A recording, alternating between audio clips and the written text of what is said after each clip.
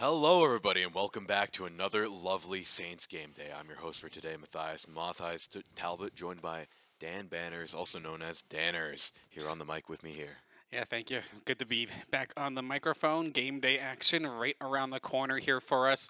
And we just get into kind of the sweet spot of this fall season. We've got, of course, the very tail end of the NECC Legends Division, which is going to be starting off our card. But then we get to see the first of our NACE Star League playoffs right around the corner. So it should be an exciting night.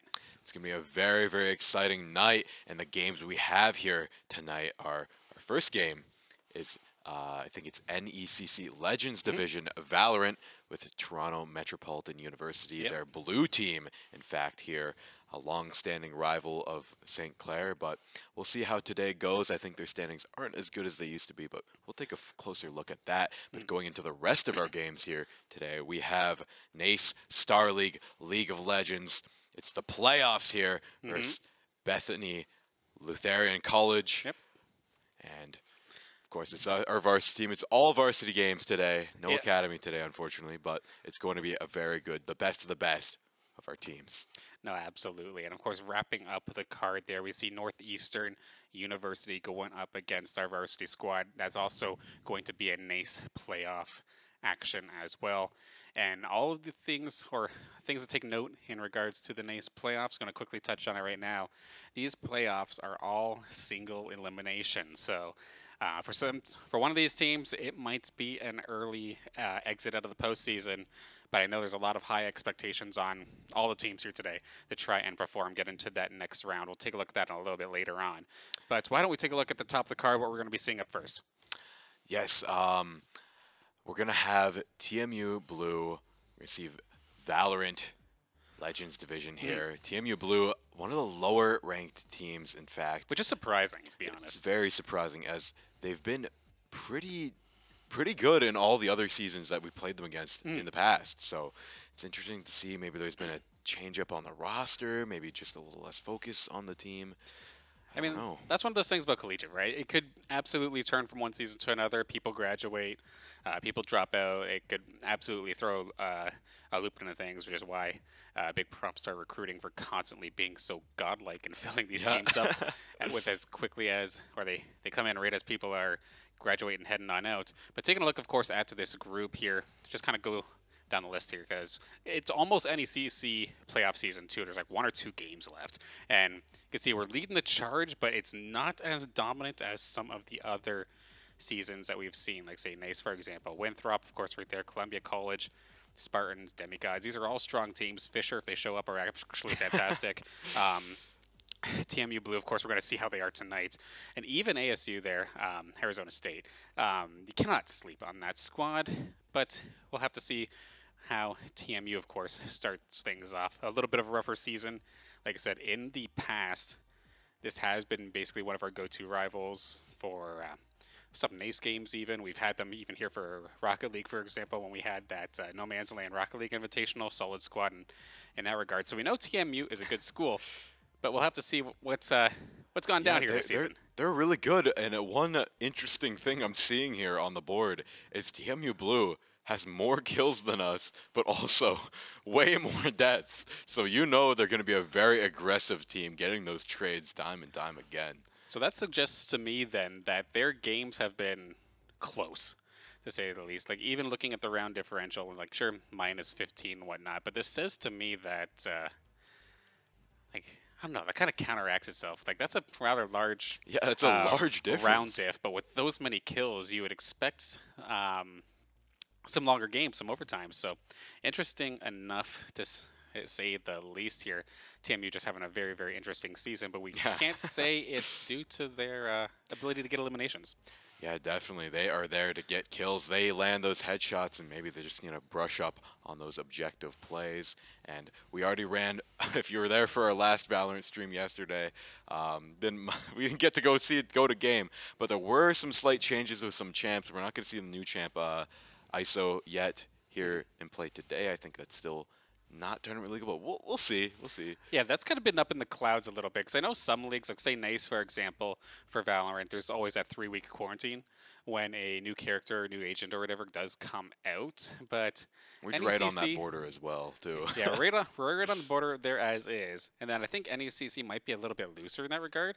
So I'm not going to guarantee that we won't see it. However, we were kind of talking a little bit in the in the back about the character that. Uh, it's extremely interesting. It seems like a very, very fun character with the ultimate that basically, like I think you explained yesterday, uh, is a, a Mordekaiser yep. ult from League of Legends, where you force a like an even gulag one-on-one yeah. kind of duel.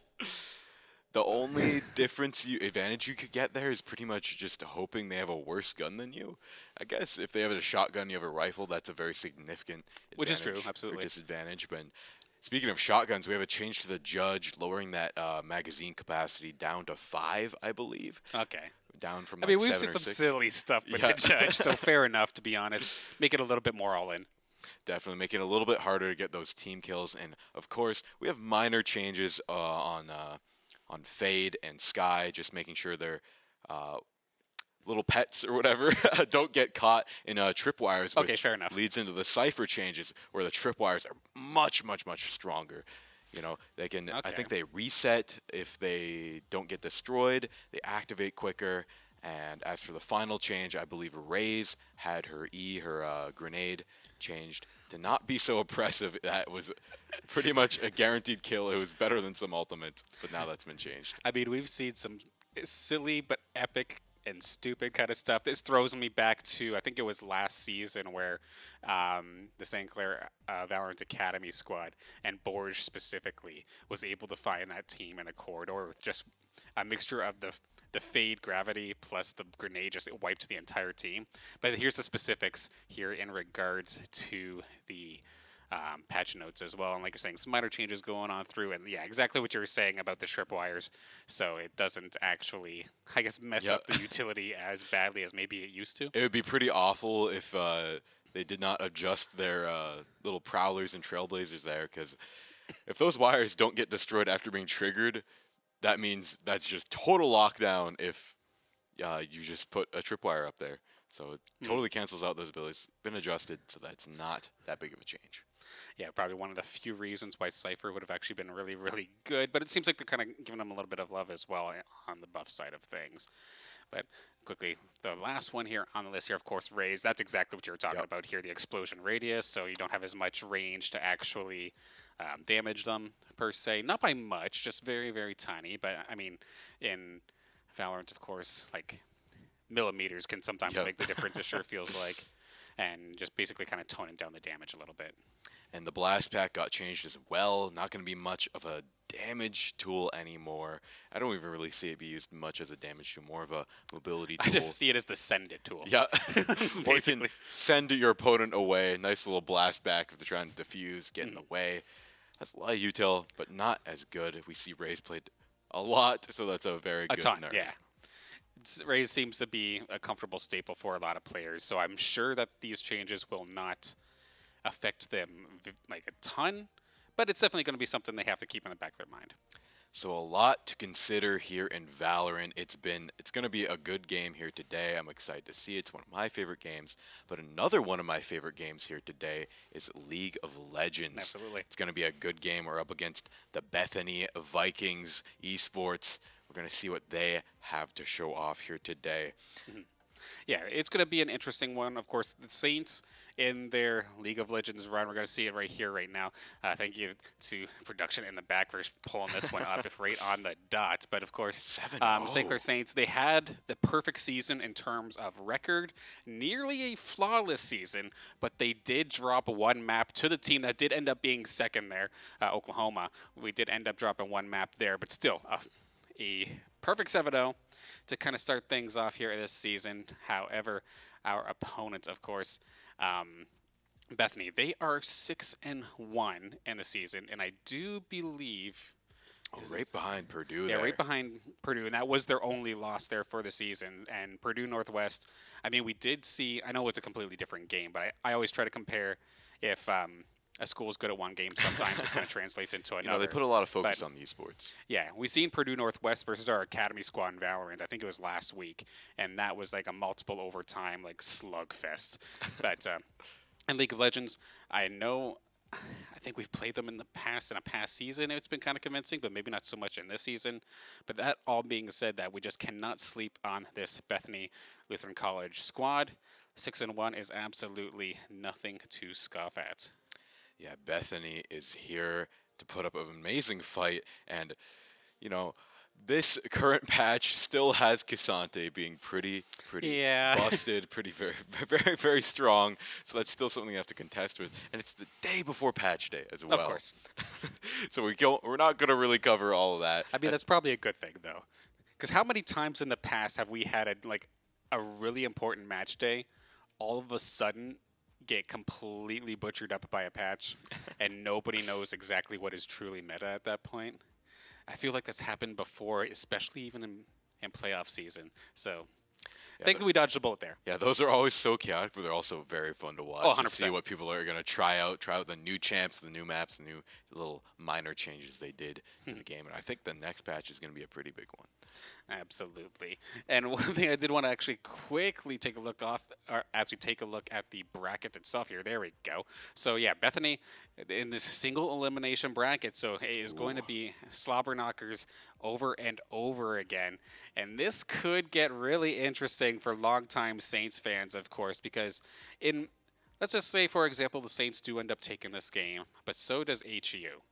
HU hmm. is Harrisburg University, and one of our old players, Barlow, who was here, I think, about a season, season and a half ago, is one of the main members, I think, on that starting roster of that Harrisburg University squad. Absolute pleasure to work with, and going to be looking forward to possibly having the matchup against them in the next round if all goes to plan. But at the same time, you don't want to sleep on Michigan Tech; they're solid all around. But um, with Bethany's um, League of Legends roster, we kind of pointed out something in the back room which was a little bit odd. One, it looks like they have three top lane mains, which is a little bit strange to say the least. That must get switched up for competitive play. But one of their players has 324 games on Teemo and is basically a Teemo one trick, which is not like you don't ever really see this unless like somebody is trolling in normal games. But legit, like an over 55% uh, win ratio, if I do recall, on Teemo, with the next most played champion being Jarvan at 18. So did we actually see a Oh, Teemo ban boy. here today? yeah, if the Teemo ban comes out, I'm worried for him. You know, if you you have to rely on your secondaries, which I don't think are as practiced. But it's uh, it's gonna be a game. You know, I would say let the Teemo play game one, see see what it, he let's see has, see what that hours put into that result in. you never know. Could absolutely be a meta uh, shattering pick to say the least if you know how to play it right. But um, we talked about a League of Legends. We talked about Valorant. We're just going to be starting in just a couple of minutes. I think they're still doing the map vetoes in Yep. that regard. But our last matchup that will be starting at 8:30 as well as League. We're going to have, of course, Northeastern versus the Saints in Overwatch. Uh, NACE Star League playoff action, round one for that is also happening here today. And the Saints, okay, they actually had a flawless Wow. Overwatch season where the 7 0 once again, no maps dropped, which was absolutely ridiculous. A massive accomplishment for that Saints Overwatch squad. But this Northeastern squad is not going to be one you want to sleep on as well. They had to fight to get into these playoffs because if I recall correctly, the way this group stage worked was that the, the first place team gets in the playoffs no Yep. matter what, but then second and third kind of had to fight for it Ooh. in a last chance qualifier kind of scenario. And Northeastern actually lost the first time. They did go up against Mizzou from a different group here, as we see them on screen now. But uh, they were up against Mizzou, and they lost that one like semi convincingly. It was a 3 1 matchup, if I recall correctly. But then there was a second LCQ, and they were able to show up big time during that one. They took out Ferris State University, they took out George Mason University, and now they've made the playoffs to play our Saints. As you saw in the results section, their second seed here in this um, in this group, and you can imagine of course, we probably would have been the only loss during the regular season, so they're going to be trying to fire on all cylinders here to try and take us out. Yeah, I'm glad to see them winning. You know, I know they've had some in other leagues they had some rough matches here, but it looks like they're on the upswing right now, and they have the work cut out for them there. Northeastern, though, you can see they had nearly a flawless run as well, just losing out to Miz Mizzou right there, mm. and uh, that's brutal. But you gotta incorporate. Maybe they didn't earn the top spot, but maybe those extra few matches will give them the edge going into this next game. 100%. You got the momentum kind of on your side. You're feeling good after a solid run through um, LCQ2. And you never know with a team like this, it could be an any given Sunday kind of scenario where you catch the Saints slipping in one spot and they should be able to punish accordingly. It's not like the Saints are going to be able to pull out whatever they want to and expect to find victory here. The Saints are going to need to be on um, full force to be able to secure this one and uh, move on into the next round. But do not sleep here on this Northeastern squad. Definitely. They are here to play, and it's going to be a great match to watch. I know with Overwatch to cover any of the changes, we got a little bit of an update here. We have BlizzCon. We have the new, mm -hmm. couple new heroes announced. We got uh, Mauga put in the game. We got Moana's uh, yeah. the character off Moana. Just give him machine guns, and I guess you got the character, eh?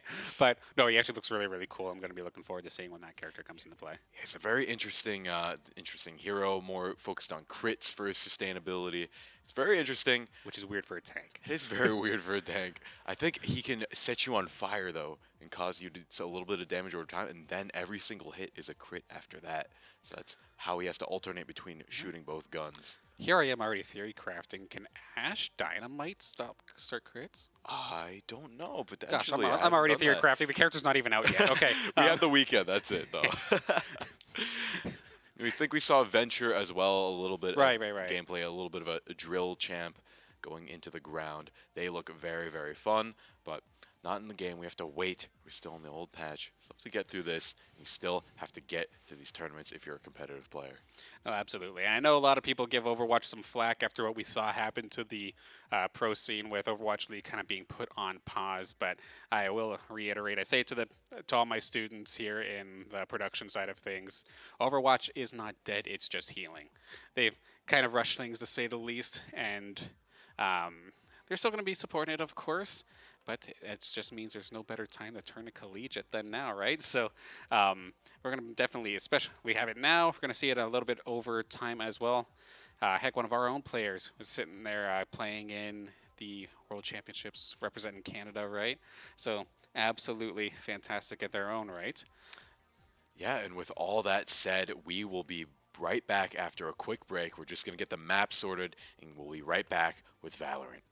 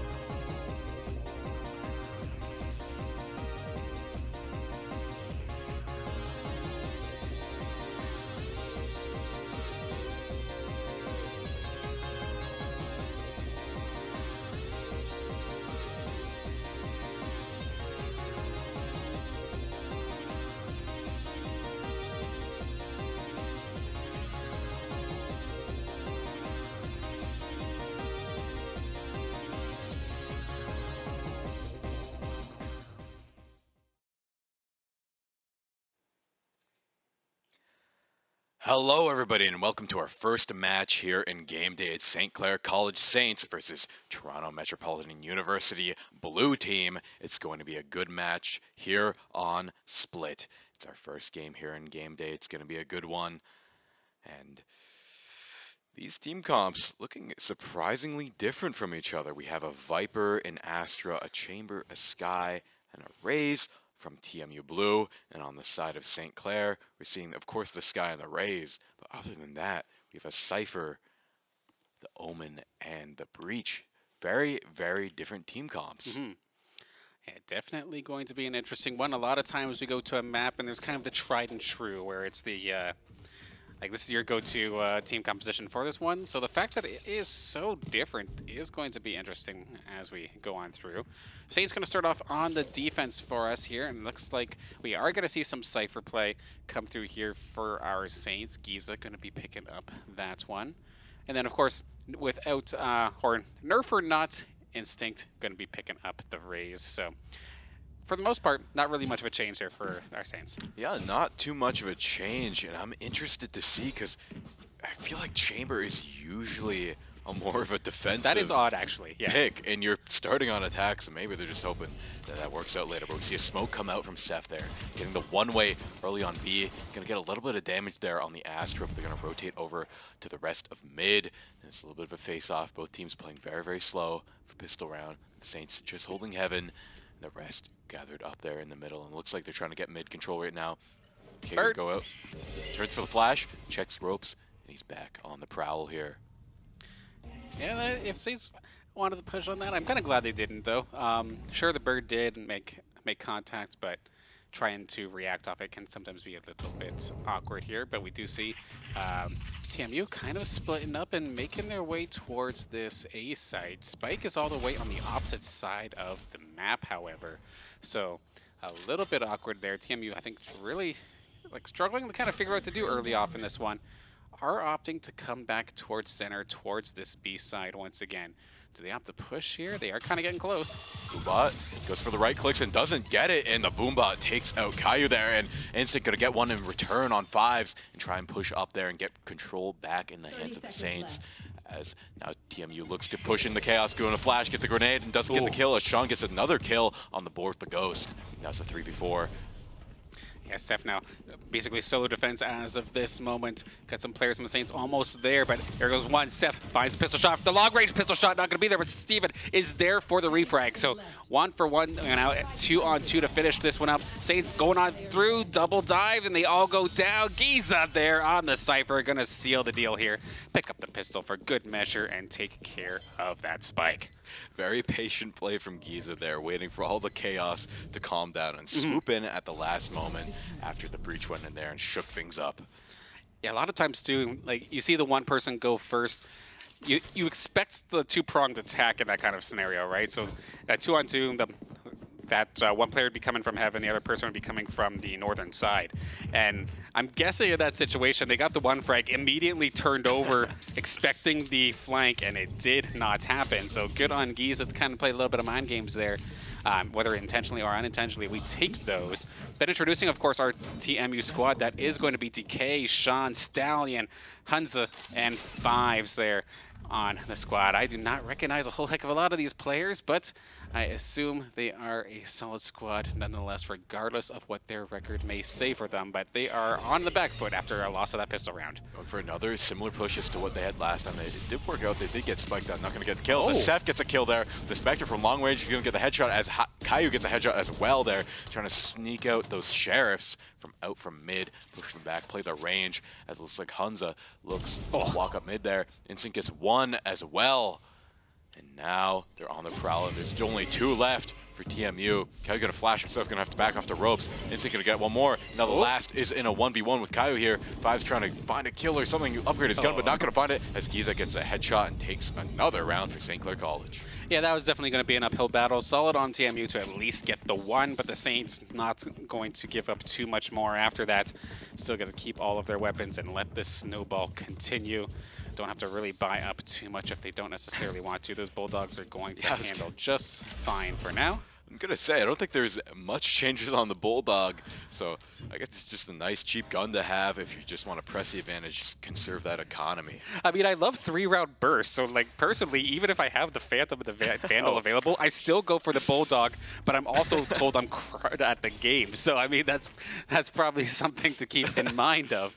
But. Uh, Let's see if the Saints can maybe pull off another one. They are, in theory, minorly outgunned. Wow. But the one-for-one -one trade to start things off here, as Fives finds Caillou, but Instinct is going to trade him right back out.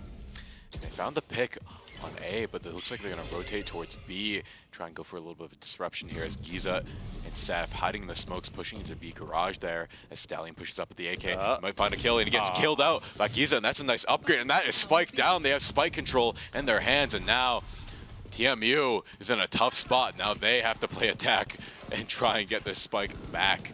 And Sean moving through the smoke, trying to use the chaos with the dog, but not going to find much. No concussions found with it, as Sean needs to find something through the smoke, but he's going to get brought down to 10 HP by Instinct. Skye Hill's going to come out. They know they're all there. They're just going to try and buy time, but the cage isn't going to buy much.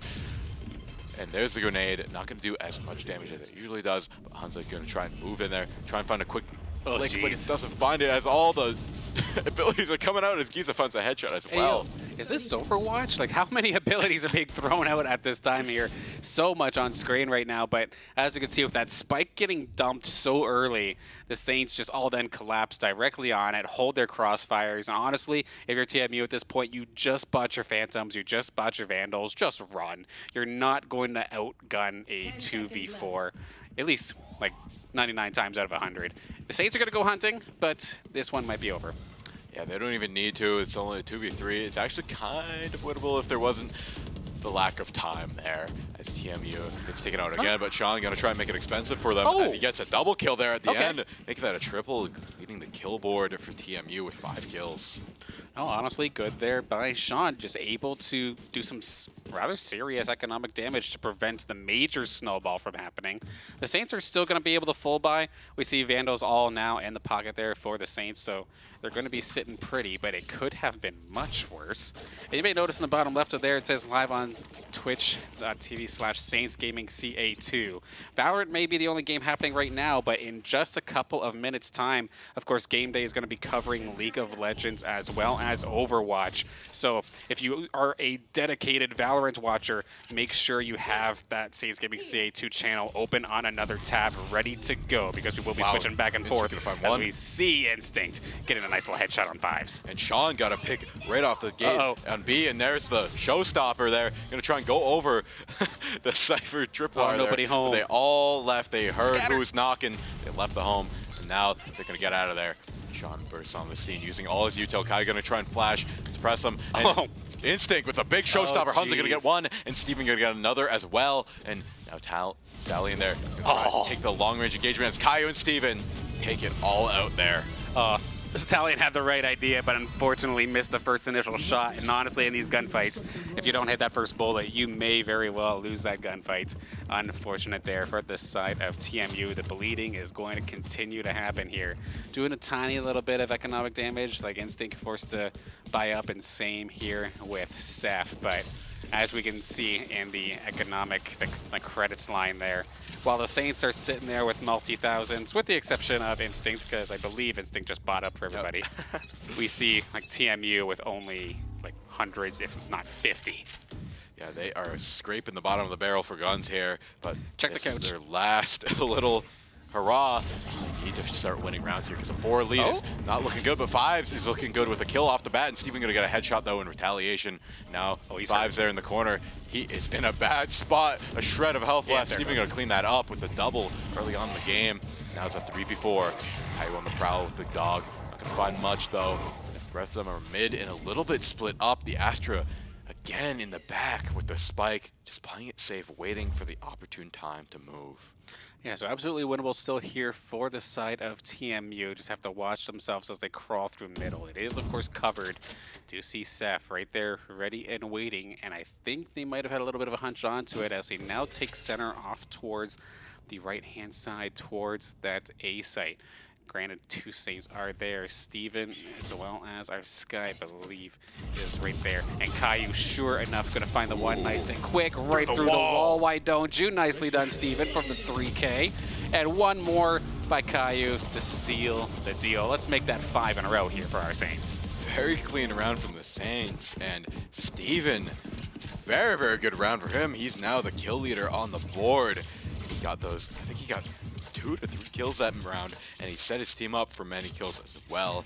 Great plays all around from him. And now he's leading in cash with $7,000, and it's looking like TMU Blue is a little bit strapped for cash, like we said earlier, going with the Sheriffs, a single Guardian to usher them in to the site.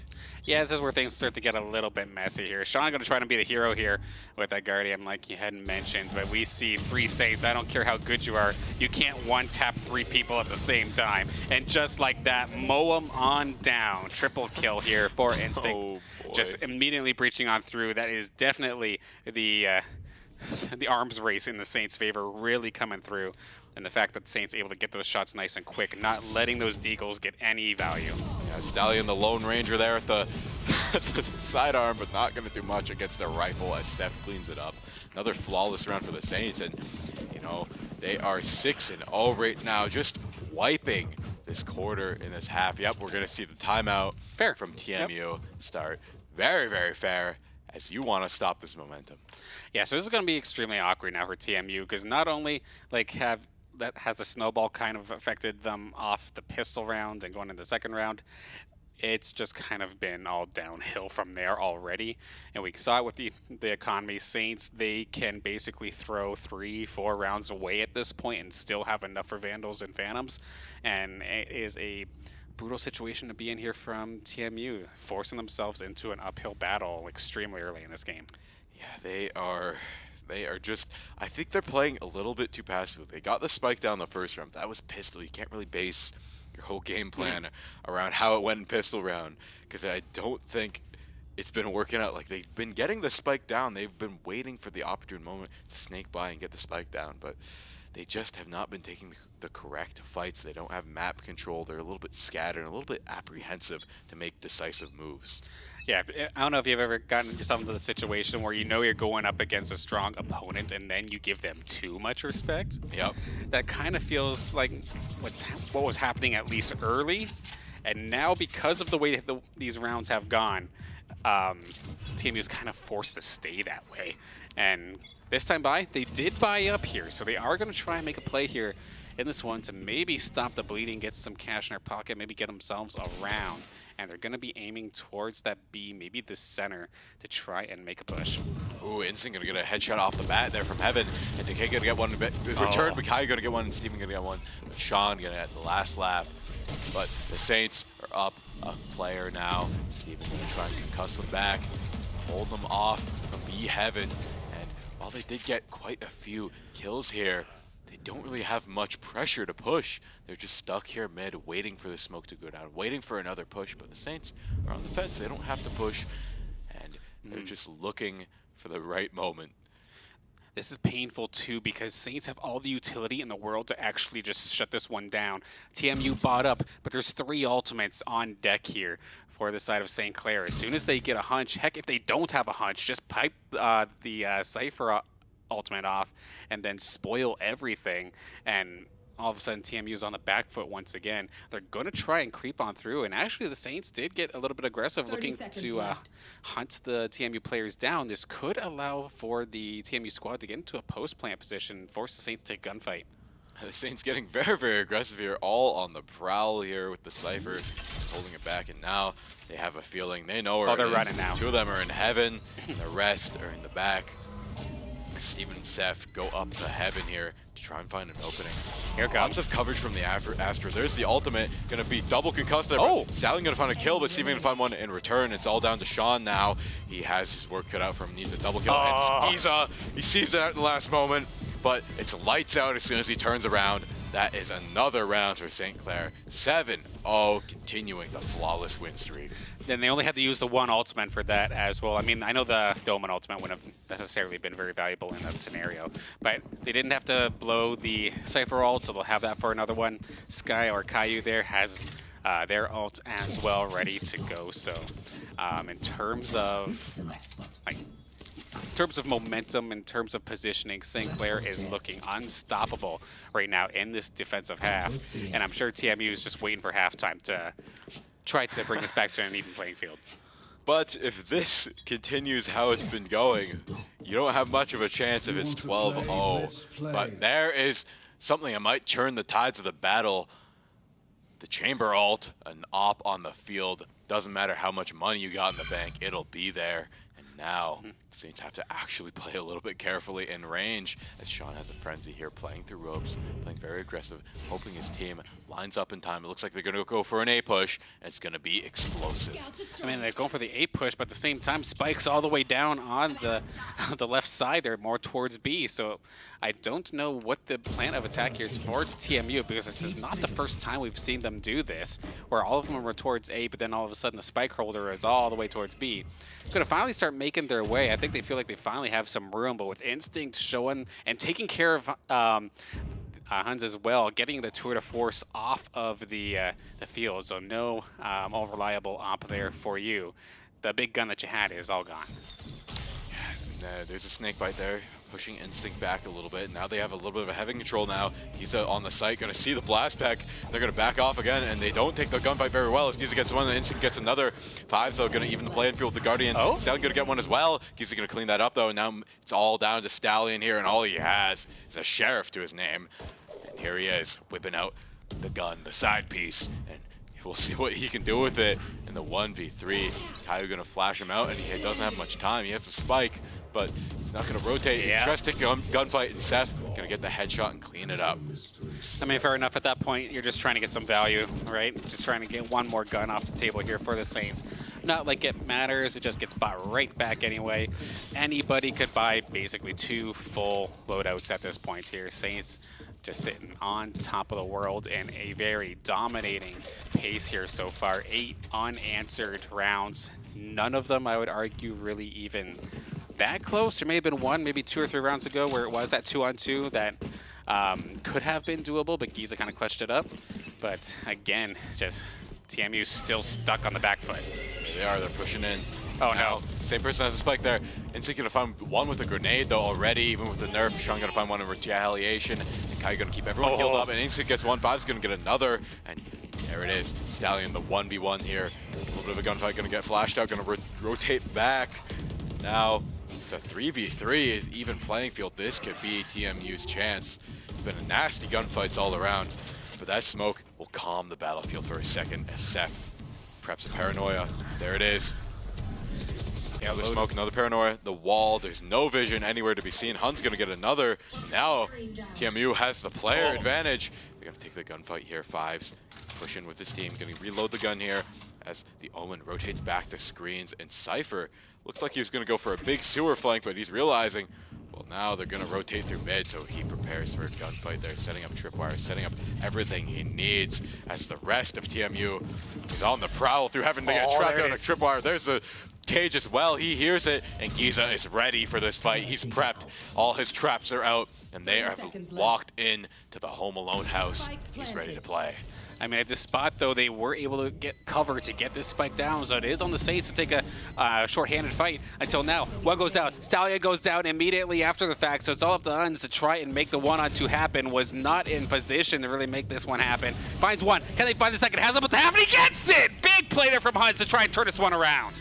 And the triple kill from his, him as well.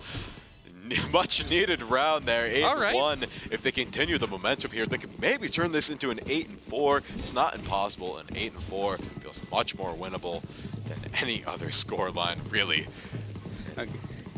Let that be the start of maybe a little bit of momentum here for uh, TMU. That's exactly what they needed, and I feel like um, Huns there was just having such a slow start. Sometimes it just takes one good round like that to kind of I think we've seen it before. You go from the bottom fraggers and all of a sudden you just go on an absolute killing spree, and now all of a sudden you're at the top.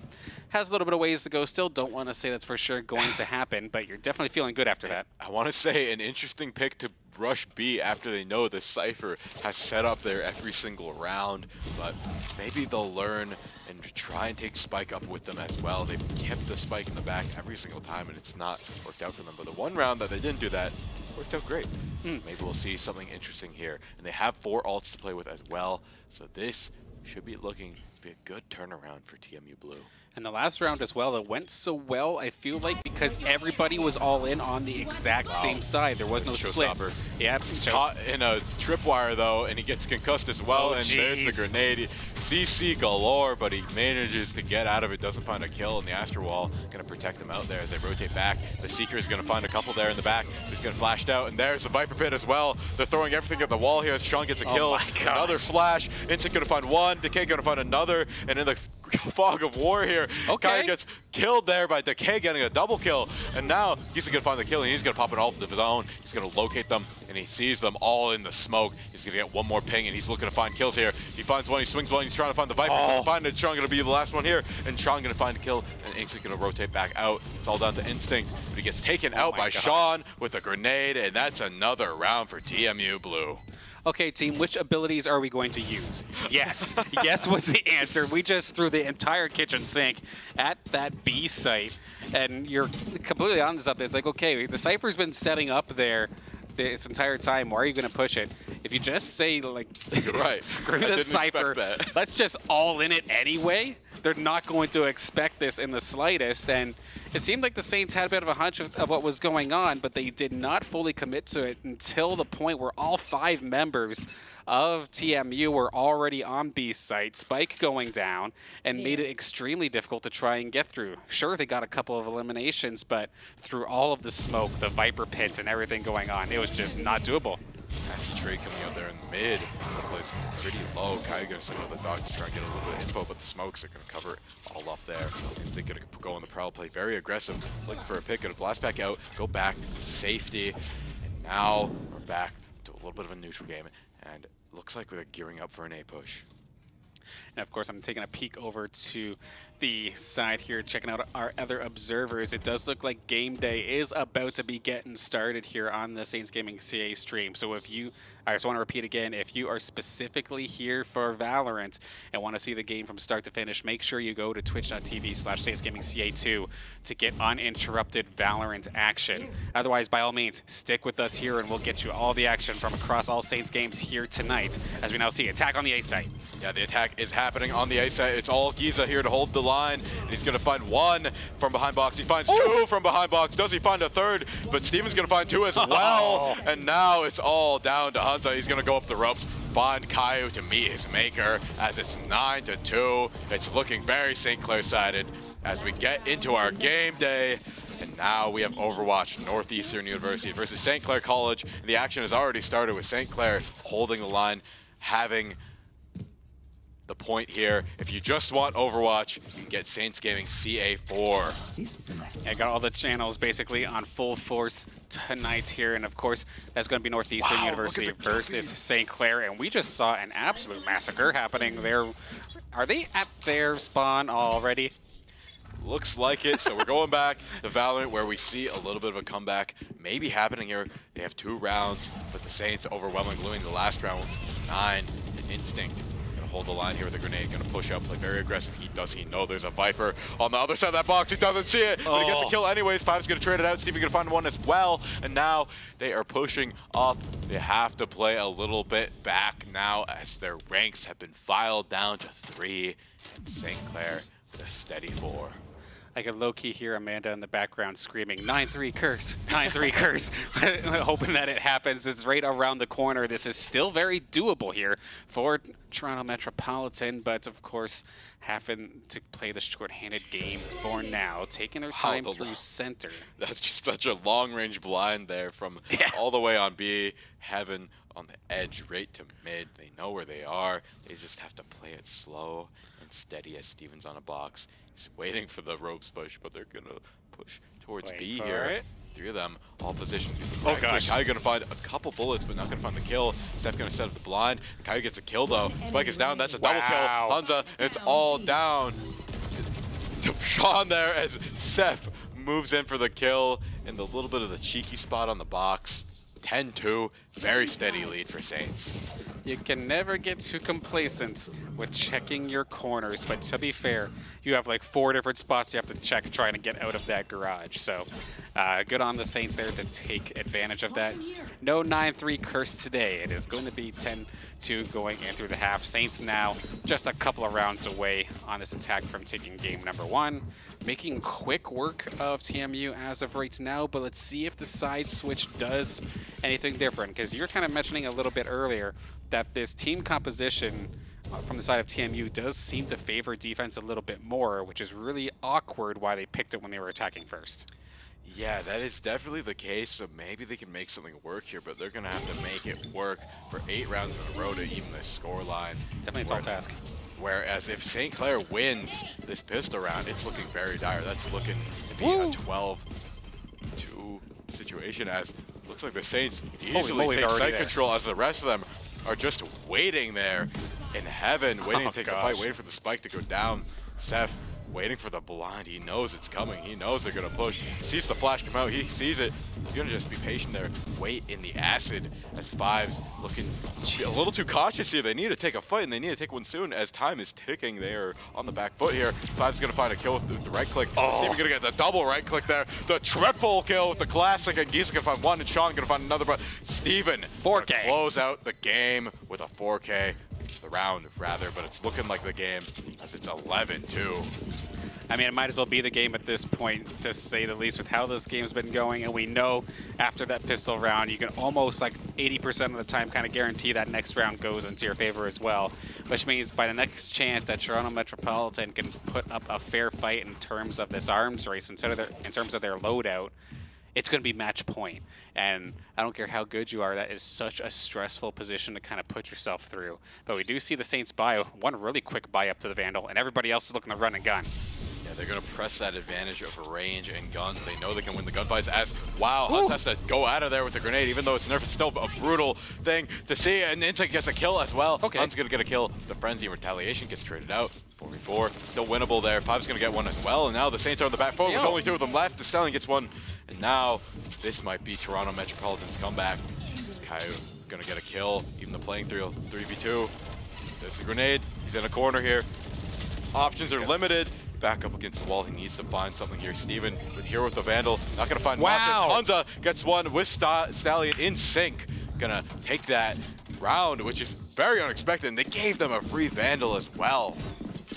Absolutely incredible stuff here from TMU. I was literally just saying, it seems like 80% of the time you have, you take that pistol round, you take the next round, and TMU says, shut up, caster, watch us go. And it just comes in clutch there. They did, instead of going up for pistols, a couple of them did go for them, uh, them submachine guns, and it did show some rather solid value. And if anything now, it's going to force the Saints to go and try to find some value with these, uh, with these sheriffs. And TMU might be able to actually start snowballing something off of this. I think this might be it if TMU can press this advantage. Oh. But, ooh, Five's going to catch Instinct off guard through the smoke there. And they're just spraying it down. They have mid control. They can play the range against these Sheriffs. Caillou looking very confident, trying to find a peek. Seth's going to find one, Okay. though. The playing field to get flashed out. They know they're mid now. And now they're going to press the advantage. Spectre gonna pepper them over and over. Shun gonna find There one. Decay gonna find another. They're just dropping like flies now, but looks like they got one of them real low. Must have been a little bit too far for the sheriff. Can have one shot, but a little too far. That's 142 to the head. Sean gonna find one in the back, but Giza shot. gonna get taken out. Looks like the Saints are moving with tactical precision here, taking it slow and steady, waiting for the lineups to the head with those crosshairs. And Steven and Giza setting up on defense, and they have spike control. Mhm. They're gonna lay it down A, and it's gonna be tough. But we've seen how Toronto Metropolitan gets easily disrupted here when the pressure is on. I mean, they they may not have the guns, but the Saints have the positioning here. Then they have to run through Giza, one tap, take care of DK. They have to come from the skies. They get one more. There's one on one left, a pistol versus the AR. Can Saints pull this one off? Giza looks for the shot, is not going to be able to seal the deal. The valiant efforts there on that thrifty attempt, and they take care of pretty well everybody. But Hans is going to shut that one down and get TMU on the board yet again. TMU looking to keep up the reverse sweep, but they only have one more round left to lose. You can keep playing like that, you might be able to tie the scoreboard, but you know, something's got to give eventually here. But like we said before, the, the comp is working out much, much better here on the defense. They've already mm -hmm. scored the same amount of points they got on attack already We flip back over to Overwatch. Looks like Northeastern actually won that last round, even though Saints oh. had very strong control in the beginning. And Northeastern yeah. gonna get pushed off the point now, and Saints looking to flip and keep control, looking to make this go to map or the map three. I don't the point three of the first map. yeah, I definitely know what you Didn't mean want there. to say map, but uh, right yeah, it just goes to show how quickly things can flip. We see the Saints dropping that uh, first round in Overwatch after getting a solid team fight. And we also see now the Saints, now that they're on this attacking side, their pockets are uh, completely empty. They're the ones going to the couch trying to look for some change to try and get some uh, some decent loadouts here. But now Saints off the start here, kind of hovering around center. A little bit of a split formation to kind of start things off, but not really committing to anything. Just trying to get as much information as possible. As we do see the Raze and Caillou here. Instinct moving up as well looking to maybe start to make a push, but if they go towards that B site, they are going to be in for a world of hurt. It looks like there's three right there. Yeah, they are making good use of this split push, trying to create as much confusion as they can in TMU Blue, but not going to find it as they're just holding stalwart, holding their angles, and they know they're on defense now. They're not panicking. They're playing very, very mm -hmm. well. Yeah, if they were, were hoping for a defensive play style, a, a, passive play style that you you peek me and I uh, sh shut you down kind of play style, I mean, they've been doing it all right so far. As we see Hans again, just dodges the brimstone stuff, well not the brimstone stuff, but the breach, the breach stuff, exactly um, takes care of it. And now they do get first blood here into this one. Steven nearly getting forward. The hurt Instinct is just going to send it. Does go down, but it allows for the rest of the Saints to get onto the site. Ultimate going to be coming wow. down here from the breach. Does it stun anybody up? I don't really think so. Not this time. Sean now takes care of Seth. Two on two now that Caillou's kind of evened up the battle. Stallion looking for the Saints. And Steven turns and burns and gets the secure here on this one, giving Saints now match point amazing play from St. Clair there. it looked very, very close play there, but that's what you need to do. They know they can stay calm and collected in those clutch situations. That was a mess. yeah, it was a little bit of a mess, but that's what you need to do. You need to create a chaotic situation because they've seen time and time again that TMU Blue just seems to crack under the pressure mm -hmm. sometimes when it's in those do or die situations. So making the running the clock down to the last few seconds well, a risky play. Seemed to work out, and now they're on match point. Yeah, 100% correct. Seems like that methodical play, the methodical defense, it seems that TMU's got that part locked down. But just like you said, you throw a little bit of chaos into the mix, and all of a sudden, everything just falls apart. And now, Saints, for the most part, all in towards that B site, looking to breach on through expect Caillou to lead the charge here in a second. Wow. Actually, a little bit of a rough one there for Stallion, and here comes the cavalry. Fires on through. Giza takes care of Sean as well. With so many Saints on point, it's just a matter for the spike goes down. Three on five. TMU, what you got? Yeah, it's all on the line here. They have Chamber Ult on board here. That's a free op. They can take some good angles here, but Caillou gonna find one as well. Now it's just a 2v5. Saints looking to make this a flawless round as Instinct here in heaven trying to spray it down through the smoke, trying to find anything. Kai gonna find one, and now it's all down to Hans, and that is it. St. Clair oh. taking it all home with Steven, getting a flawless round. Look at that. The Saints played amazingly there, taking it all home here today in game one. Okay, jump jump scare there for Huns to say the least. Just popping out of the smoke and immediately finding two Saints. There is nothing you can do in that regard. But of course, Saints game day does continue. Um, as we wait for the next round to start here for Valorant, we can take a look, of course, at the draft that's happening on the side of Saints. That is that, excuse me, that um, and NECC, NACE Star League playoff match leagues. I Definitely. struggling a little bit here. We uh, we have the draft on the right, and we have point three here on the bottom left. The draft for St. Clair College is going to be Syndra, Jarvan, Thresh, Xayah, and Malphite. And do we see the Teemo ban from the Saints? We don't see it. No. But we also don't see the Teemo pick on the side of Bethany, with it being Orianna, Senna, Tahm Kench, Jax, and Jace. And I think it's okay. Pretty. I think we're going to see. Uh, you know, the two in the middle there could be jungle, could be top. Seeing Jax yeah. top a lot lately. Yeah, that's the awkward thing, especially even which player is playing what. Because we did take a look a little bit earlier uh, prior to the game happening. It seemed like there was a few people that can play top, a few people that kind of play jungle. So who was who? Um, who is who? We're not 100% sure. But of course, as this game day is going on through, um, League will be starting momentarily. So if you do want to stick with League of Legends, that's going to be Saints Gaming CA3 to get un uninterrupted League. Saints Gaming CA4 will have your uninterrupted Overwatch, with the exception of the pause that is currently going on right now in the game. So that's why we're not switched on over just yet. But this does at least give us a breather to take a look at this uh, team composition. Definitely. And I just want to run through the bans real quick for St. Clair College. Of course, we banned the K'Sante seeing the Rell ban a lot now. We also see the mm -hmm. Seraphine ban. We have the Gwen ban and the Ornn ban as well. We've seen them have trouble against a couple Ornns in the past few matches, but you know, with the 7-0 win streak, you know, they're looking very, very good. Yeah, take or, no a good win streak. I don't know if it's 7-0. That might be another team. I mean, take no chances, right? Ornn's one of those characters where it's you don't have to really win your lane. You can just um, take your time and just start um, getting items for your entire team and making everybody just that much stronger.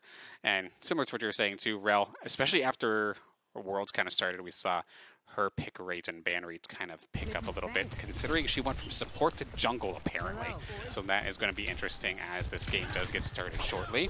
But the pause is over. We are back here with some Overwatch action here in the NACE playoffs as it looks like this did end up going to a round three here in game number one with a team fight looking like it's just about to get started. Northeastern here in the lead with a point control looking to make it 90% in a few seconds here. St. Clair not far behind it with 60% on the board nearly. And Crime going to do a lot of damage there, being contested right now.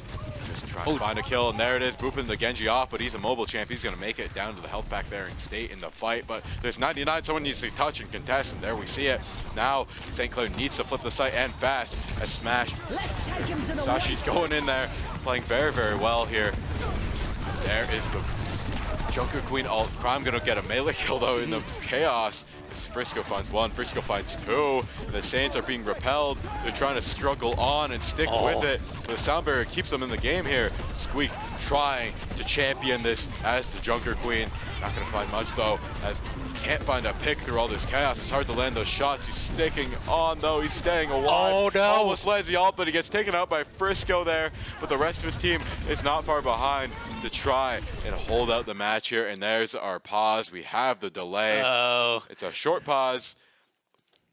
Wow. How do okay. we think this is going to go? Okay, so um, Frisco there on the side of Northeastern, the Junker Queen, fired off that ultimate oh, right through right everybody, and that was absolutely nutty. And Scoop there on the Lucio also just saved the fight. And now we hear the, sh the shots firing in the background. Here we go, still in overtime. Oh, wow. This is getting nutty. Razor does have the Dragon Blade available if they can get to the point. They do manage to actually flip this thing. Emergency Hammond coming on through. Hamster rolling on in, and it's going to allow for the Saints alongside the rest of them to get this one through just at the last little bit. Scoop knows what's up. He knows what's nice, and the Saints able to hang on by a thread.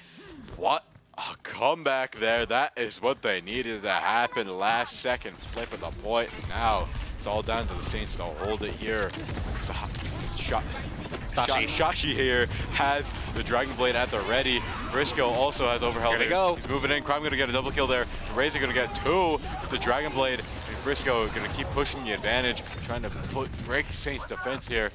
As it's all chaos here. Absolutely. point. As we get closer and closer to 90%, Squeak on the ball. And when there? Great to contest. Gonna get oh. another kills, and no one's there to contest. The Tracer oh. just so or that's a Sombra. Sombra, a yeah. too slow there as Saints take map one. Okay, that was a scrap and a half there, and it did not look good initially initially. But Frisco, this might be the ultimate that I was talking about if it is from game number three. No, this was actually earlier in the round, it looks like, going on an absolute tear with the shotgun through the window. Does not matter. You are in the wall and gone all the way down through. As we see Saints, they might be cool, calm, and collected right now, but with how close that game was, you know they must be shaking up a little bit. Definitely, that was a last-second Hail Mary there. They contested. They held out for so long there. The sound barrier, all the ults came out, and they are doing their best. Thank you very much for the picture. You know, just recording it for the memories. You know, this is what it's all about. There he is. I mean, Red X is always like not fearsome of the camera, always playing it up alongside some of the other Saints here as well. Always good to see. But honestly, that could have been so messy when that final fight happens because both Genjis had their Dragon Blades, but um, Razor actually dropped extremely early. It did rely on a lot of the other Saints to kind of pull through and deal the damage in that situation. But thankfully, they were able to pull it off. And now, as we hop into the league game, just getting started here on Saints Gaming CA3. Yeah, here we are. And that is quite an interesting uh, picks there as we do see Jax in jungle. I usually see him top, but I know he's very viable jungle. Jax had got a rework quite recently here. He's a very, very strong champ. As we see, it's a very typical game. Gonna get a little bit of pokes here happening in the bot lane already, and looks pretty, pretty normal here to me so far here. I mean, I'm going to take advantage of this situation right now. We've had an insane Valorant game, an insane yep. Overwatch game. If we get to slow it down for just a second here with League of Legends, I am completely nice fine with this. As we take a look here at uh, the lineup. So sure enough, the one member that I was thinking was the Teemo One trick is not actually on the roster here today for this side of Bethany. Instead, I think that's uh, Yune in the mid lane going to be taking their spot. So got McFlurry Demon up in the, the top lane there for Bethany. Gweiss, Yune, Dog 2, and Beast Showmaker for our opponents. And of course, our starting lineup for the Saints. Bakery Boy, Maddie, Zephyr. He actually went back to Zephyr. Okay, there we go. Rock Boom and Lonzo Heaton coach as well as the support player here in this game. Yes, very. What do you think? Uh, what do you think of these team comps so far? Okay, so Saints, it looks like they just want to send it looking at the side of things. Anytime you pick a Malphite, I assume you just want to essentially give up your early game and just get ready for team fights. As hang on a second, we got a bit of a fight in the bot lane. Wow, big fight going on right here as they get oh. first blood here. The Thresh gets the kill though. A little bit of a misplay, but that's nonetheless a major advantage for St. Clair College as things are moving very, very well for them in the bot lane as we move over to the top lane. We see our jungler, Maddie, prep for a big gank here. McFlurry Demon getting very, very low on the Jace here as Baker Boy pushes in. And now Maddie slaying McFlurry Demon. Call him the Demon Slayer. Call him Tanjiro. Call him whatever you want. But I'm just going to call him good as he gets a major advantage here in the game with St. Clair getting two early kills and securing the nice early game lead as Gweiss gets Scuttle in retaliation. Yeah, take care of the Scuttle nice and quick here. And now, off of the start here, Saints aren't looking too shabby, getting themselves a nearly 1k gold lead right off the start. And we'll have to see if they can abuse that bot lane lead as we see oh, the gank down in the mid lane. Zephyr was almost in trouble, but there's Alonzo with the hook. Yeah, there it is. The fights are happening. Gwen getting very, very low. The Syndra peppering him for the orbs. Oh, Another Jesus, hook could end it here. And now the Tahm Kench is here. We're, it's early game, but we're getting a big team fight here in the middle. These teams are here to play. And now things are cooled off. They're not. They're going to back off, secure the second scuttle. And the Saints are just going to carry this lead. They know that Bethany is currently Bethany Esports looking to even the playing field. They need a kill. They need it quick or else they're just going to be behind for quite a bit of this game. And because they didn't get anything out of that gank, they're going to be down in CS as well. So more and more, they're getting disadvantaged. Have been down in CS, but they did kind of let the Senna just gather some of their uh, like solo experience, I think. I don't think the Senna was a part of that engagement. If so, I very well could be wrong, but you're completely right. They tried to make a play knowing that they were behind and they got essentially nothing for it.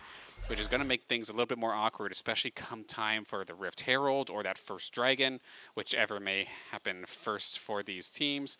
But as we do see the Valorant game getting back underway as well, if you do want to stick with League of Legends, Saints Gaming CA3 is where it's at. If you want to see all the links and whatnot, get all the tabs open. Exclamation mark streams in the Twitch chat. We'll bring it all up as we see a massive fight here for the Saints. Yeah, Seth getting a double kill, two kills in retaliation from TMU. As we get a record oh. from Giza, gonna get a kill there. Sean, though, gonna shut that down. It's all down to Steven here with the ghost. He finds one, oh. and the last is just a shred of health, but when it's two ghosts up against one another, it could be anyone's game. It's a Sage, though, so the regen could be very, very useful here, especially in pistol round. As Stallion gonna get the plant here as the Saints are starting on defense here on Lotus with TMU on attack. And Stallion now just has to play the waiting game and wait for Seth to make his approach. And it'll almost be an even fight too if 20 seconds could go by or so. The Sage, I believe, will have her heal once again to make this a full um, full health battle. But we do see Steven is right here, sees the spike. Where's the Sage going looking for the southern attack? Actually, Steven, what are you going to try and do? Faking it? Going to try to get the attention of the TMU Sage. So far, it looks like it's working. They're making their way over. Going to have to try and stick it now. Kind of waited too long. I see the Sage. She's crawling on through. The spike is ticking down. What do you do? You have to stick it at some point. Gets the elimination. Is this enough time to do so? Yes, it is enough time to do so. Steven clutching that one up from what looks like was going to be brutal. Yeah, the Saints, they're getting destroyed there in complete dis disarray, but the clutch out from Steven manages to close it all out. As we go back to League, we're going to get a little bit of a pepper from the Jace there, but not going to find much. As now he's on the prowl invading St. Clair College's jungle. The McFlurry Demon is out to play. How menacing is that? Don't want any pepper or pepper in my McFlurry. No, thank you. Sephiroth, however, is going to be in for a world of hurt. And sure enough, from the uh, Saints' own jungle, McFlurry Demon. Snipe is on point, gets the elimination. That's exactly what Bethany needed to do. They made the play. This time it's stuck. And now they get to bring this one within 600. They can bring it all back here Looks like Vice oh boy. gonna try and steal the red buff there as Bakery Boy starts an engage here. Gonna try and punish that and get the the buff back, but not gonna be able to find it as Jace is a little bit faster there. The Jax is a little bit faster there. As Fleur Demon, the Jace is getting the scuttle, bringing up the Vice there. It's a very, very good gameplay right now from uh, Bethany. They're down a little bit, but they're evening the scoreboard very, very quickly. I mean, good patience there from Bakery Boy. Most Malphites I know see two people close together like that, and you immediately fire the ultimate, right? But there were so many walls that could have been flashed over. That fight probably wasn't going to happen. Save that ultimate. Save it for the next team fight, because you never know what could happen. Of course, Dragon should be spawning in the next couple of minutes, and Rift Herald's always an opportunity as well. So, had to blew that ultimate in the in the um, in the jungle, and it could have been problematic when that objective comes through. But of course, once again, if you do want to stick with the League of Legends action, that's going to be on Saints Gaming CA3. And uh, we see the Valorant action right here, Saints Gaming CA2, exclamation mark streams to get the links to everything. Wow. As we see Steven starting off the attack, but here comes TMU. Yeah, with a double kill in the retaliation there. TMU looking much more alive in this game, even though St. Clair still walking 100%. away with a 2-0 win so far they can look to turn around here as they have the, the life advantage right now. They have four players versus Saints, three players, and now they have site control here on C. It's all up to the Saints now they're trying to fuse this spike as they mean to rotate over. They're in the spawn right now. They're looking to rotate through the top and the side entrance here on C. This looks like two. They send two to guard the side entrance. It's Giza here taking the gunfight in the 2v1 right now. And two 2v1s are currently happening with Seth looking to disrupt that as now Giza in a gunfight here. He's very, very low. Huns looking to try and take this one out and go back to his team because he needs the time as Fives gets one. He's going to find two and Steven going to find another. Oh. And Steven going to find the double kill, making it a three move. kill actually, and making it a 4K and winning the round for the Saints 3-0. Oh my goodness, the flank was huge, able to throw off everybody there from TMU and just make it so that it was impossible to guard everything at once. But now, here comes the excitement as we have the Dragon Blade. We're going into Overwatch again. I could wall the pick here from map number two. It looks like the Saints are going to start things off on the attacking side and right on into the swing of things. Red X, of course, maybe a support does not matter. He's wow. going to be absolutely sending it with the rest of the squad. And it looks like Razor and the rest of the Saints are going to delete the side of Northeastern University, making that one look very, very simple on a spot that is usually impossible for the most part to try and actually breach. Point three is possible. Yeah, now they are. Look, at the third point here on Eichenwald. It's going to be a good match as see Razor is just on point here, weaving in and out, getting the dash resets on this Genji, and now we're getting our first big team fight here on the stream as we see the Kiriko all come out. Shashi going in there, and he finds one. Hedwig gonna find one actually, clean that kill up try and push off the Saints from the payload, and it looks like it's being very successful. Looks like disrupted as the Saints gonna play it safe, not get him the kills. Uh -oh. Actually, Razor gonna take a fight there, get him very, very low, but there's health pack right nearby, and it looks like Hedwig charging the overclock, nearly having full ultimate charge. And Hedwig is just a mere DPS player. They're not very tanky. I'm surprised they got out of that one alive, but this could be problematic. Hedwig pops the ultimate, looking for as many shots as possible there with that railgun, doing big damage, but is getting big pressure right on top. Razor not going to let Hedwig get any room. Takes them down nice and quick and it could be more to follow. An absolute cluster in this corridor of the castle, and it is in the Saints' favor as of right now. Red X takes one, Razor takes one, and who's on the point? Nobody as of right now, but it is just an absolute skirmish. Eventually that Junker Queen is gonna go down. Frisco is going to fall, and with the tank down, it should be good distance now. Borderline third point here for the Saints. Yep, and with both DPS's ults in their back pocket along with the sound barrier, it's looking more than enough to deal with the final push here as we get past the final point, and it looks like there's not much contention. One meter left. They have all the ults to use. We're going to see the the rally come out, the overclock, and the blade, and there's a reverse sound barrier going to contest oh. it, but Crime still finds one through the chaos, and now they find the tank as well. Red X is going to get a double kill. Okay, He's a support, but he can attack. He's getting a triple kill, and soaks the other support, cleaning it up. Support but they know how to kill. Oh my goodness, the support DPSs are coming in clutch. Who needs DPS when you've got supports? That's what the whole GOATS meta was, don't remind me. But beautifully done there from the Saints. The backline ends up being the front load of damage, it looks like, alongside the rest of the Saints as well. So after a three-pointer like that, good momentum. We bring it back on over here to Valorant, where it looks like TMU looking to attack onto the safe site once again.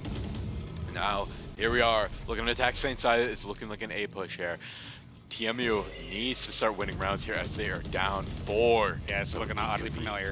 And the Saints looking to make as many great plays as they can make. Instinct right behind there. There is the oh. triple trail from TMU Blue. Instinct gonna dash through though, dash through the chaos, put up the wall, and none of the Saints have fallen. They take a little bit of damage, take a little, couple bullets here, but they're looking none the wiser. Oh. Wow, amazing op shot for Hunza there. Stallion gonna pick one, Decay gonna pick another there. They're just moving as a squad here with Stallion in there planting the bomb, with Seth in the back there trying to find some opening here, but it is a 5v2. It's not looking good for them. And Seth trying to find a kill. He oh finds my. one. Oh he finds two. Will he find another? Can he find something? He's gonna like go in the back, but he gets taken out there. He finds one, and now it's a 2v1 for Seth. He's a little bit alone here. He has a Viper Pit, seven bullets in the chamber, gonna fake the defuse, make them force the push. He's gonna get flash out. Nice dodge though. He's gonna push. He finds oh! Colette! Headshot! Getting the 4K in the round and defusing the bomb. Can you believe it? I can't. Seth clutching the round for the Saints, bringing them 5 and 0. I'm still speechless from that play from Seth, but we have a team fight happening on both Overwatch and League of Legends at the same time. Game day at its finest, highlights everywhere. The Saints are getting jumped on. That's going to be Bethany actually winning that team fight overall, it looks like. Same for Northeastern, and also winning the fight in St. Kill. Oh They're getting a triple kill, so as one team is up, the other are, are experiencing their lows absolutely insanity across all of the games. But of course, we expect nothing less of the postseason or the close to the end season there. for NECC and NACE respectively. So we now see McFlurry Demon just poking away there at Bakery Boy, and we finally have a small chance to kind of breathe here as we take a look at how the game state is for League. And to be fair, the Saints had a very, very strong start.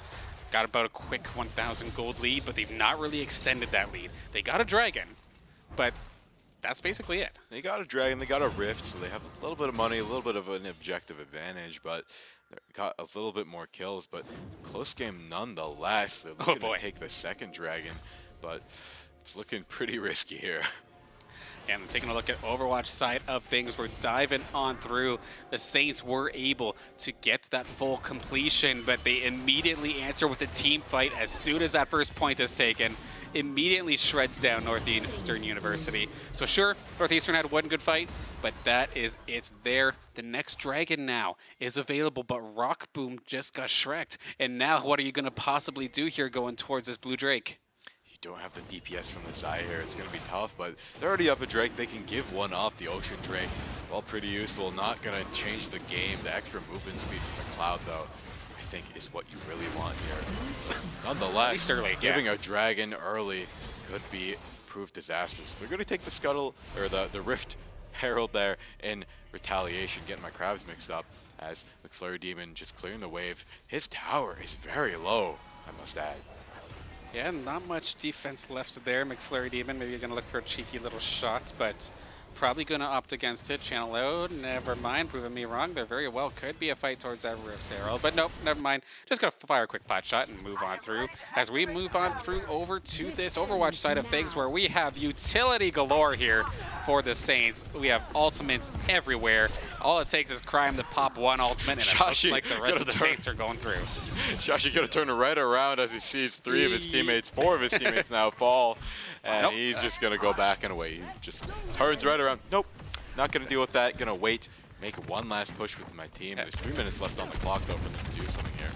Not all is lost, but they have Junker Queen all to contend with. And I think uh -oh. Squeak sees the opening. He might go for it, but he's waiting for them to move up. He sees the sound barrier get popped. I think that's the cue he's waiting for. He might use it after this. You can see a Rally come out with Razor with the Dragon Blade as well. The reflect headshot, and Razor gonna get one as well, and Crime getting the last tank, and that's another team kill for St. Clair College. You love to see it. You can tell they're wired in. They are just focused. They're happy though. You can see little faint smiles pop on their face with each and every kill. Yep, game face is on there. And another scary scenario, both Genjis pop the Dragon Blades at the exact same time, but this time it was Razor that got the best of it and didn't even need it completely. Got the one elimination just with a reflect, which was absolutely disgusting. Now see Shashi here trying to do the one-on-one, -on -one, and Razor is absolutely going to take care of that one with the help of the rest of the Saints.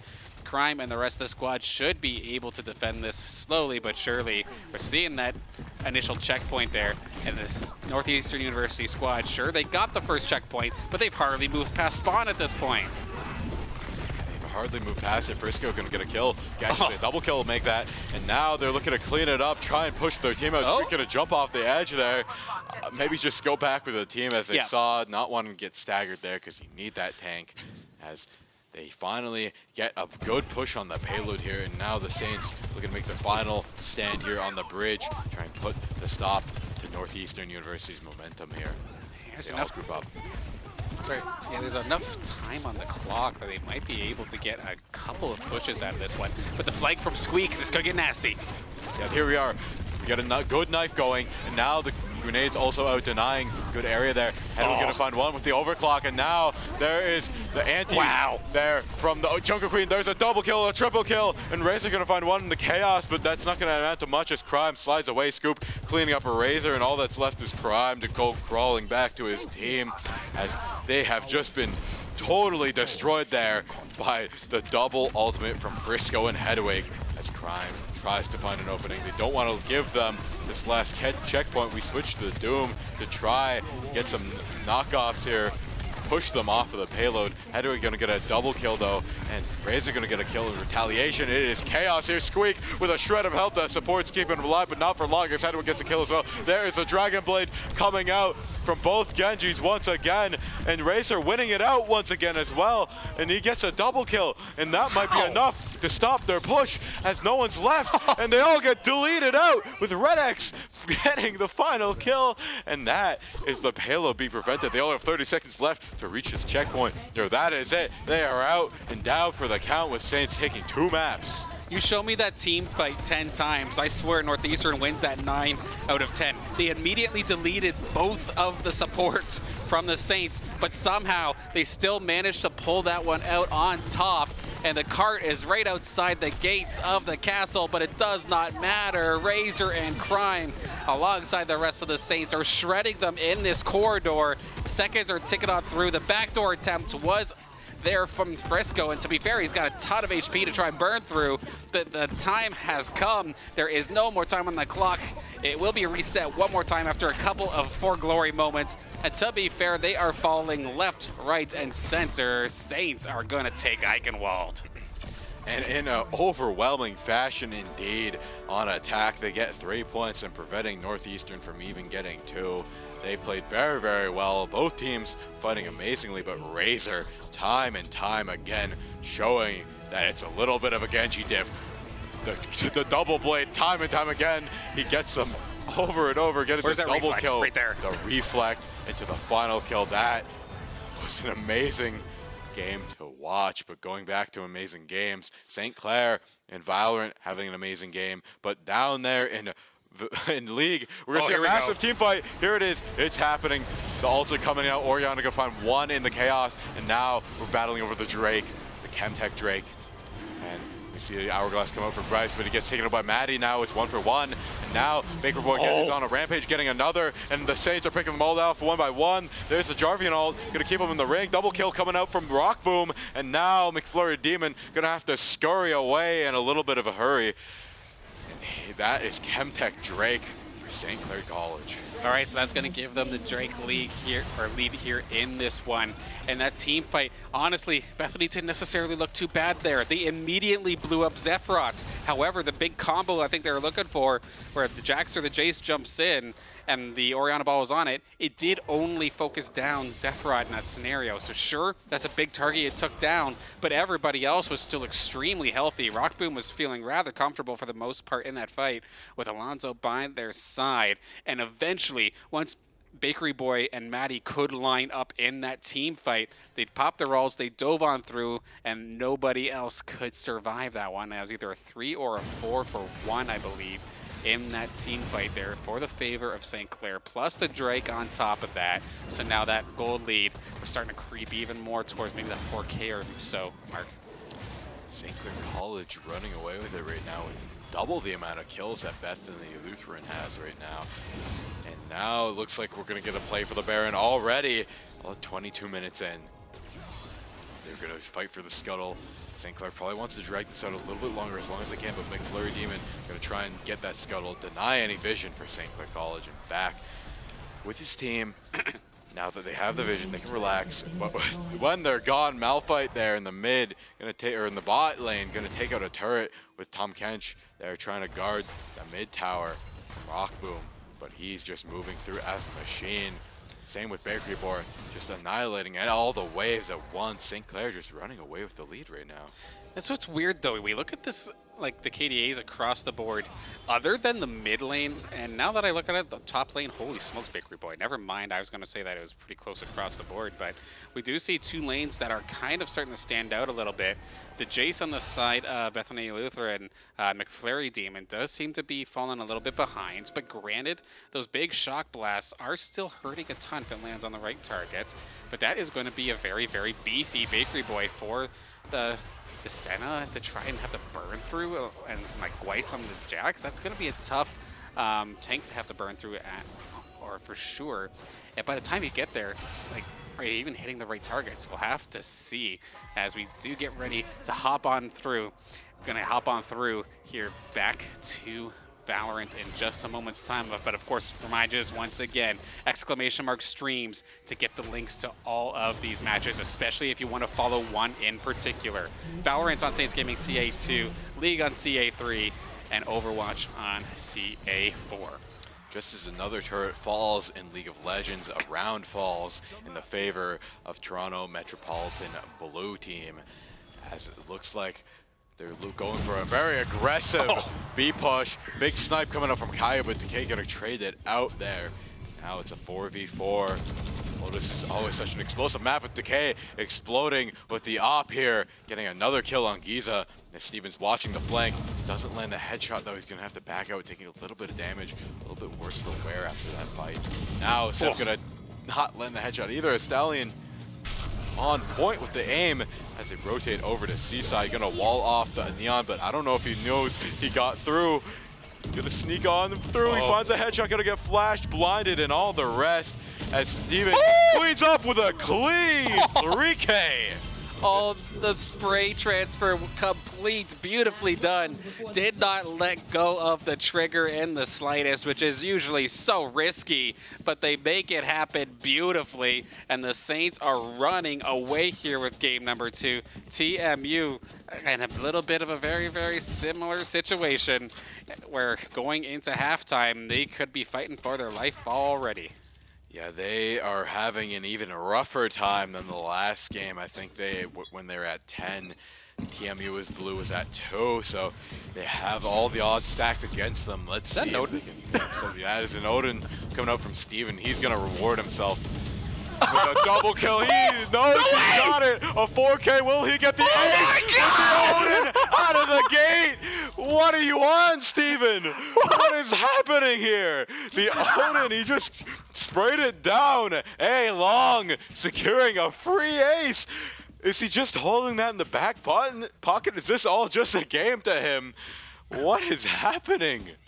What the heck was that? It actually you get one kill in that situation, you're happy, let alone five. Absolutely ridiculous stuff coming out here from the Saints. How They had like three ops and an Odin. They are flexing hard right now. They have the money, they have the kills, they have the skills to back them up. It's it's not looking aye, good aye, if you're TMU. I, you know, a lot, a lot of, a lot of games are uh, mental here. It looks like we're going to have a little bit of a knife Knife fight! After the chaos that just ensued, you'll take whatever you can get. Steven, though, still on point, getting the first knife kill. It's got to hurt as now we're seeing the knife tactics come out. Gonna get another kill on Caillou. Decay getting a knife kill. Seth getting one back. Pretty even here, but it's down to two on TMU. You can tell the Saints are good with their knives, but Sean not going to be able to out-knife Steven. Steven, give him a gun, give him a knife. He'll be the kill leader in whatever round he's in. Now the, the last stage is just over on C, waiting to take the fight. Uh, poor Sage, I don't think got the memo here. I don't know what instigated this, but it seems like there was some sort of agreement to have a knife fight here in, in this one. And now the Saints know where the Sage is. I think they're just waiting at this point for the inevitable. Oh what gosh. is going to happen here? Oh my! Oh, takedown. A little bit of a takedown there. Waiting to see if he'll do anything in retaliation as we have another dragon happening in League of Legends. And it's not looking like it's going to be contested very much. Oh, there the goes. rest of them are all up top river trying to contest the Baron. Actually, the Baron gets taken out.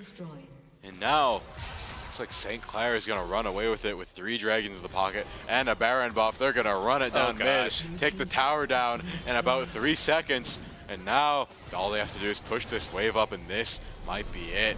Unless Bethany Lutheran can find amazing play here. It's looking all St. Clair College.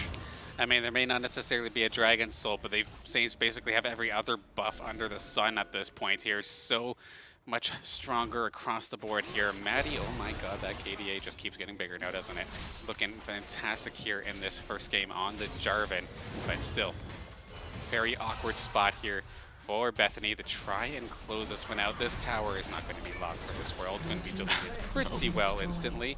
But how do you even attempt to engage on this? Jace's decision is just to not and just push that top side, it looks like. And as we look into Valorant, it's another knife match down to the stage again. AFK once again. St. Clair College with such an overwhelming victory. How could it go any other way? All the oh, whole no. team, it's a whole team play. Yep. Death but a thousand cuts here. all at once. Just gonna chill out, have a party, let it safe. Use all everything you have on the board. But down on the there League of is. Legends side of things, sure, Valorant is going to win. Absolutely no question about that one. But the Saints are knocking on the door of the Nexus, and they actually haven't quite got it. It's going to be McFlurry Demon leading the charge here for Bethany to turn this one on the Saints. Maddie getting his first death of this game, maybe an over um, an overextension on that last engage. Yeah, we're going to see a back come out from one of the Saints. They're going to back up, but they did get one of the inhibitors and get, I think they got bottom tower as well. So they are in a very, very good spot right now. They got bottom inhib as well, almost getting the last tower guarding the Nexus. All they have to do is shove top. that is going to be it for Bethany Esports.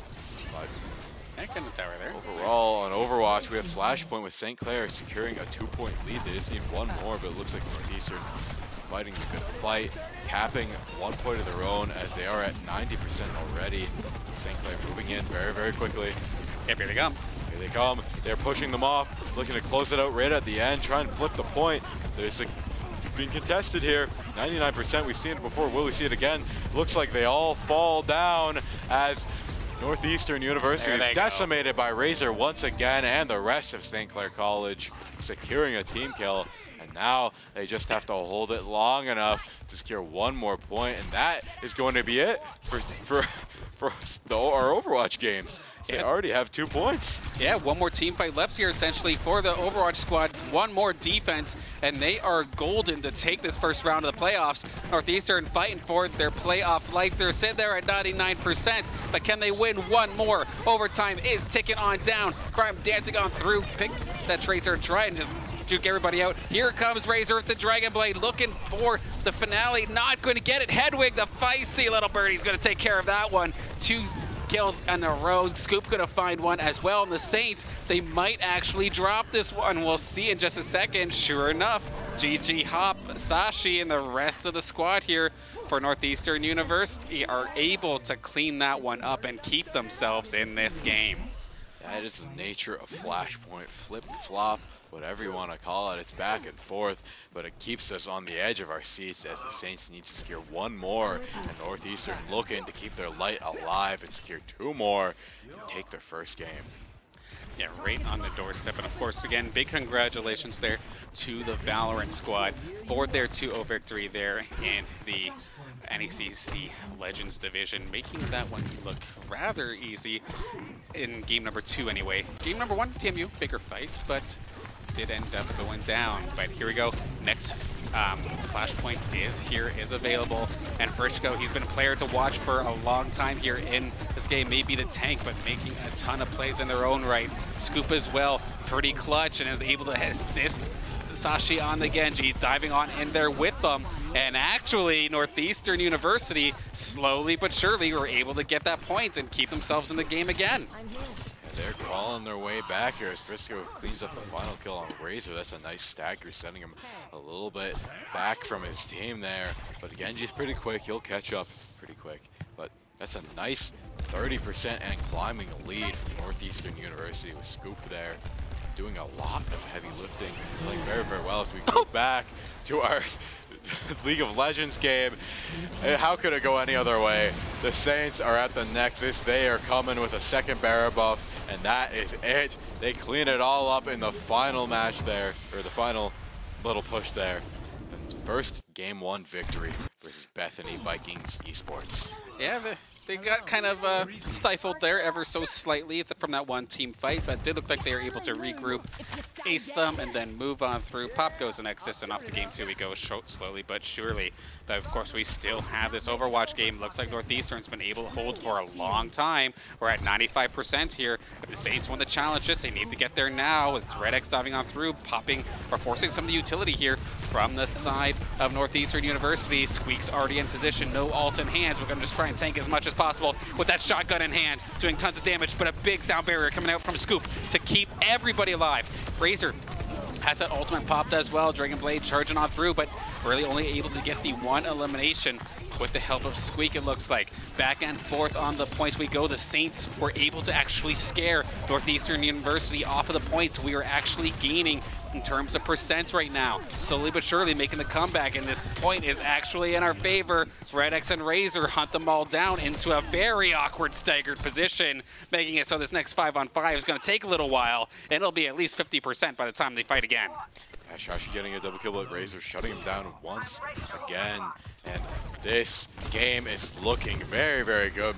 Northeastern University contesting amazingly as we see Hedwig there playing very, very well getting the headshots. We're gonna get taken out by Crime with a railgun headshot to the head, and now chaos is ensuing. There is the Junker Queen ult sound barrier to reply. Squeak's going in, taking them all out. He sees he's low, goes for the axe, misses, but Crime gonna clean that up. Squeak gonna get a kill, and Razor gonna go in as well. Red X, everybody's getting kills on the team as it's 90% uh -oh. on the board, 99% for Northeastern. You want to take it back, but with how the Saints are playing, it's looking hopeless as no one's there to contest, and St. Clair takes home the game versus Northeastern University 3-0. Holy moly. I can't say that Northeastern didn't put up a good fight, though. Very good back and forth. The scoreboard is not going to do this one justice. And a lot of it had to do with this player right here, Frisco, on this Junker Queen. Let's see what they do in terms of this play of the game. Yoink takes them down nice and quick. And sure enough, wow, just everybody on point in that team fight to blow everybody up there on the side of the Saints. And wonderfully done in that regard. But that was a chaotic like half hour or so of games there. And now we finally kind of get to slow it down a little bit, which is a little bit nice. So, of course, a quick recap. Um, TMU versus our Saints varsity squad in Valorant in NECC Legends Division. We were able to take that one 2-0 in a rather convincing fashion. Then our next match that did just finish, of course, the Overwatch matchup, Northeastern versus the Saints, of course, in Overwatch. First game of NACE playoffs. We were able to take that one again 3 0. Score doesn't do it justice. We still have League of Legends to go, but of course, in classic League of Legends fashion, we have to wait probably like 20 minutes for the draft. But we're not going to just throw it to a break, throw some music, and call it a day. We're going to sit here and talk to some people. We've got an interview and waiting. Coach Owen and I think a couple of the Valorant members want to come talk about that matchup. And we'll get to that one in just a couple moments' time, it looks like. Sure, we're going to take a very, very quick break, it looks like, to get that all set up, get the microphones all ready to go, and we'll be back within a couple minutes' time.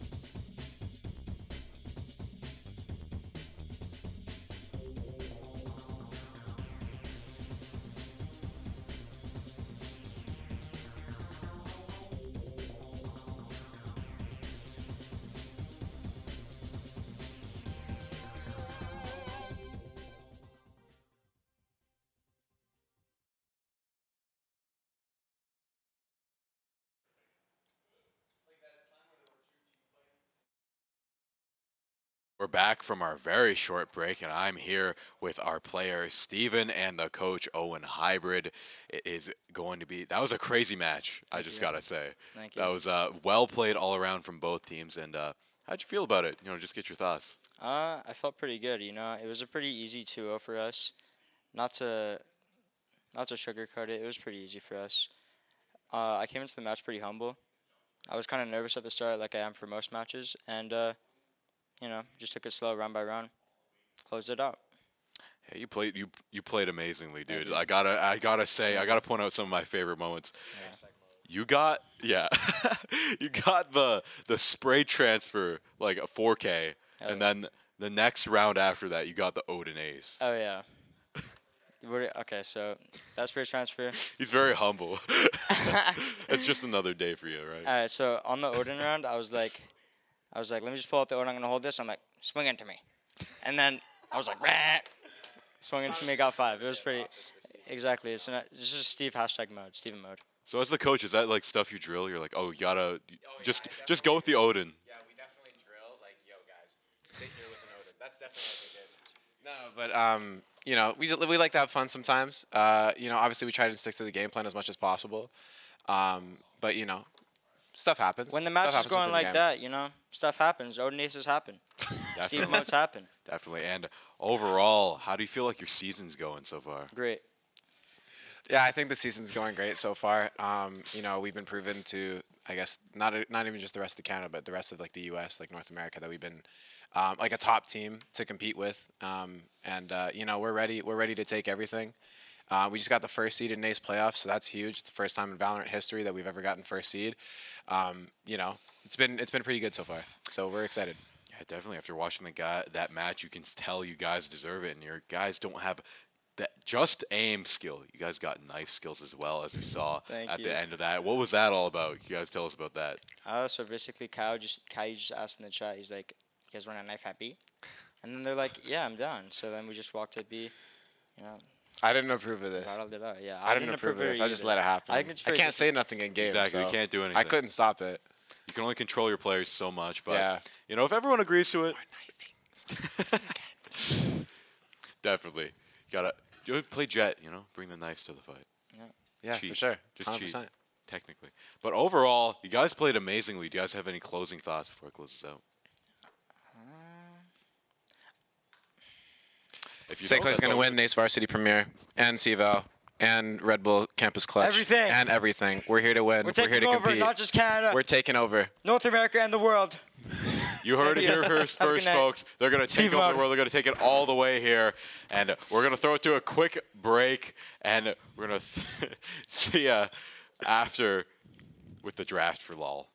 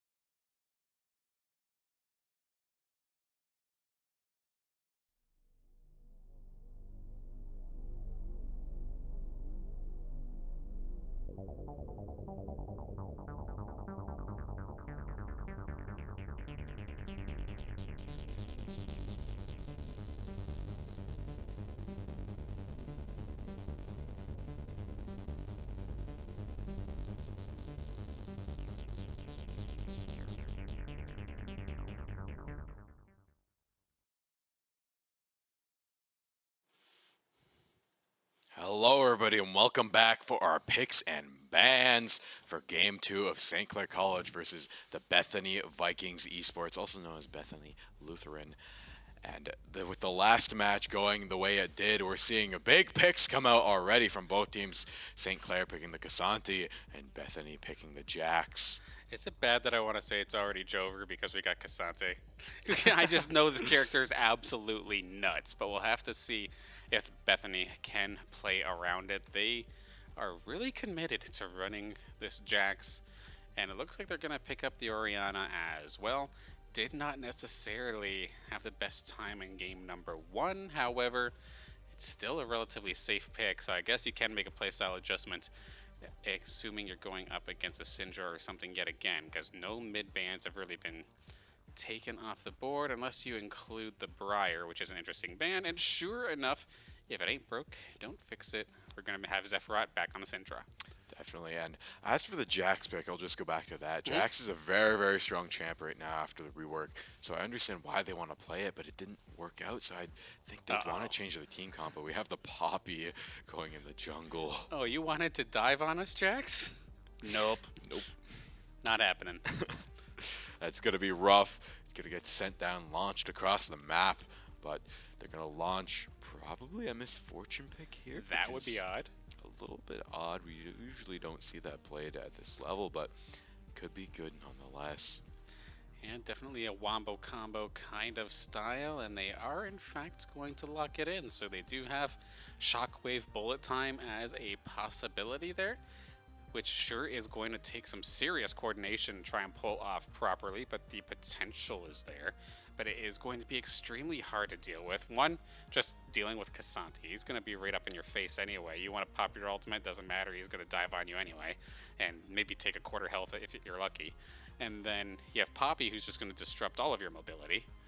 But looking at some of the bands, we're going to get rid of Rock Boom's Tristana, it looks like, and Saints opt in for the next band in just a moment's time. A little bit of love, like in terms of bans across the board here. Take away the Gwen, take away the Seraphine, take away the Rell. Where's this one going? Yeah, that could be interesting. And you know they don't want to go up against Rock Booms for huh? There's the Soraka ban. Maybe uh, I don't know about that.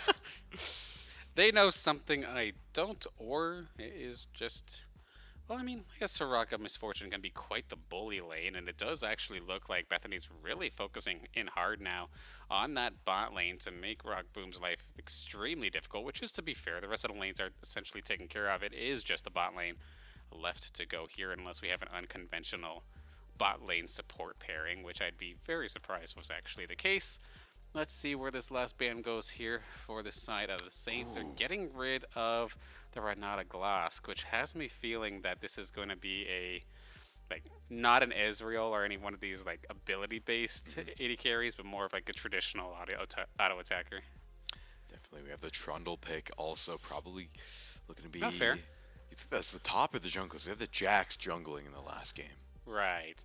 I mean, there's lots of beefy um, members on the side of the Saints so far between the Poppy and the K'Sante that the Trundle would absolutely love to pop an ultimate on and just get extreme beefy. And this is kind of what I was thinking about. So you're going to be going for the Jinx. You have a lot of protection against dive. And there's like a lot of setup that has to be played here from Bethany. So as long as your positioning is half decent, you can avoid the Wombo combo. And at that point, pick a hyper carry. And Jinx going to be solid pick in this regard. And then Alonzo has essentially the pick of the litter here in terms of which support they would like. And the Alistar is going to be the pick. So a little bit of extra protection and Gage and Peel, to say the least. And that's unconventional, Ooh. to say the least. Hello, Season 3. yeah, the Zyra pick, that can be very aggressive if or hard to play against occasionally, but against Jinx, a very speedy uh, auto attacker. I don't know if that's the best pick here. I mean, it's going to be odd because in theory, the Zyra Miss Fortune can actually bully this lane extremely hard.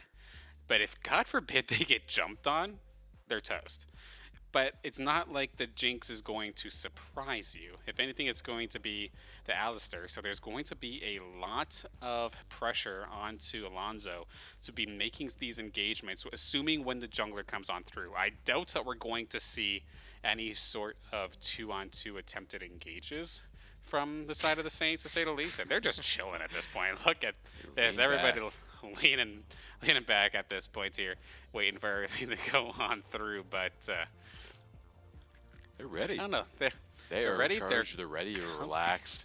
and they're zen. Zen. They're in. They're in the flow state right now. They they won. And they're ready to win again.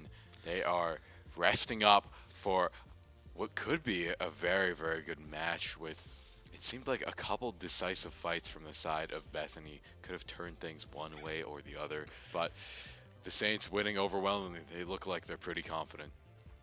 Yeah, man, those uh, those secret labs are rather comfortable to say the least. There, so fair enough for relaxing on those ones. But of course, now we've got to wait out this big ol' spectator delay. We see the draft. We have a little bit of our predictions. Last thing I want to, I guess, want to kind of touch on, looking at the two compositions here, what do you think is going to be the outcome of this game? I think the Saints are going to win once again because lots of unconventional picks from the side of Bethany uh, East, Viking Esports there. But overall, I think the Saints just going with what works, what's tried and true and tested for them, they're going to win once again probably a very strong fashion. Yeah, I'm going to be there to agree with you. A lot of these picks do seem to flow with each other and then kind of counter what Bethany Lutheran College is trying to do. So there's going to need to be a lot of outplaying. There's going to be a lot of pressure on Bethany to land these wombo combo styles, shockwave with the bullet time or something along those lines, to really swing a team fight hard and early. Otherwise, they are just going to get run over, it looks like. But with that being said, we're going to be waiting out the delay. Quick little water break before we hop onto the Rift for game number two of this NACE playoff matchup.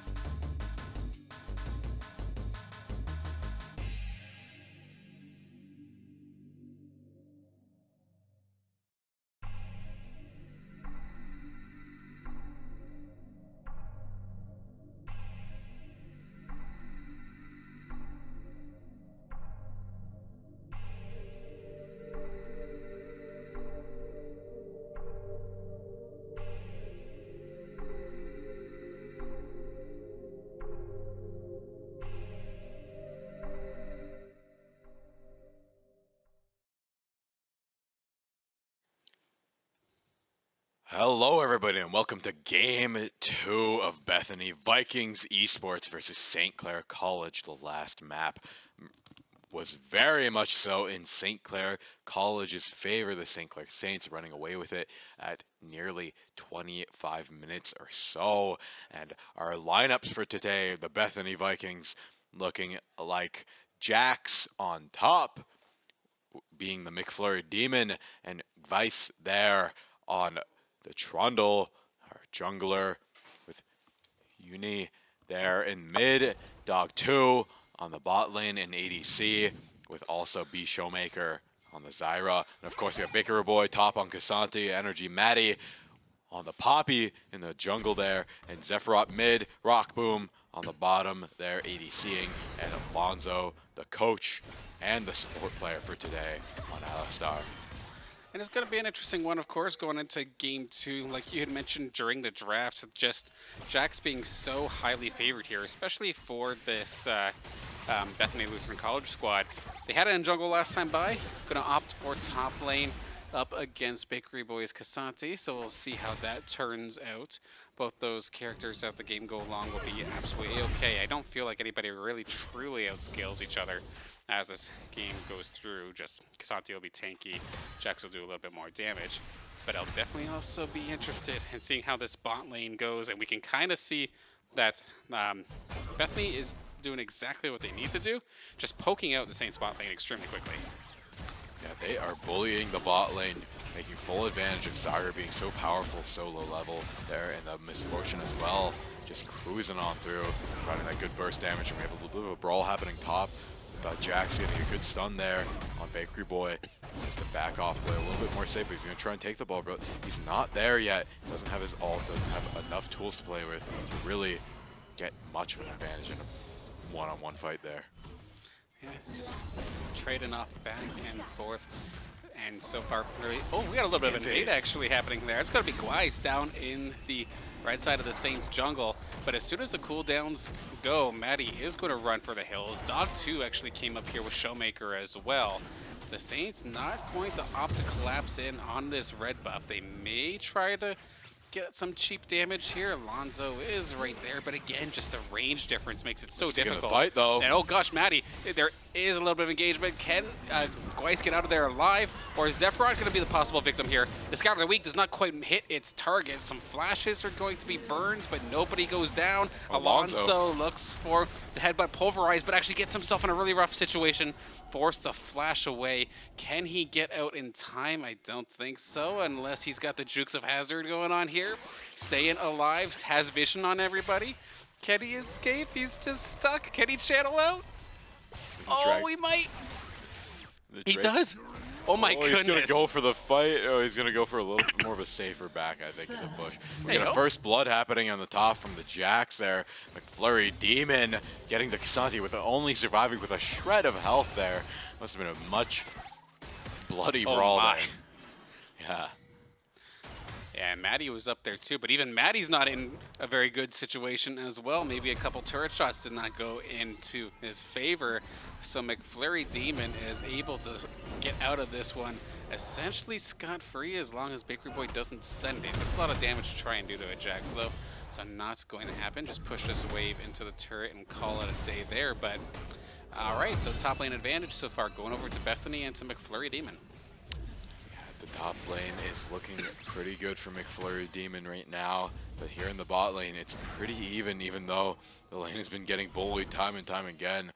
Rock Boom still hanging on, not dying just yet, holding on and trying to push this wave up, and it looks like they finally got the wave advantage for once, with Alonzo here pushing up as well. They're looking to try and get a good fight here. They need to find a kill and quick to get in any Oh! Gets a knock up, and Maddie's there as well. Gonna dive in, but Showmaker flashes out. That's probably gonna be the end of the story as they just push up the wave with Vice there pushing up, but not gonna turn around. He's just gonna turn around and back off.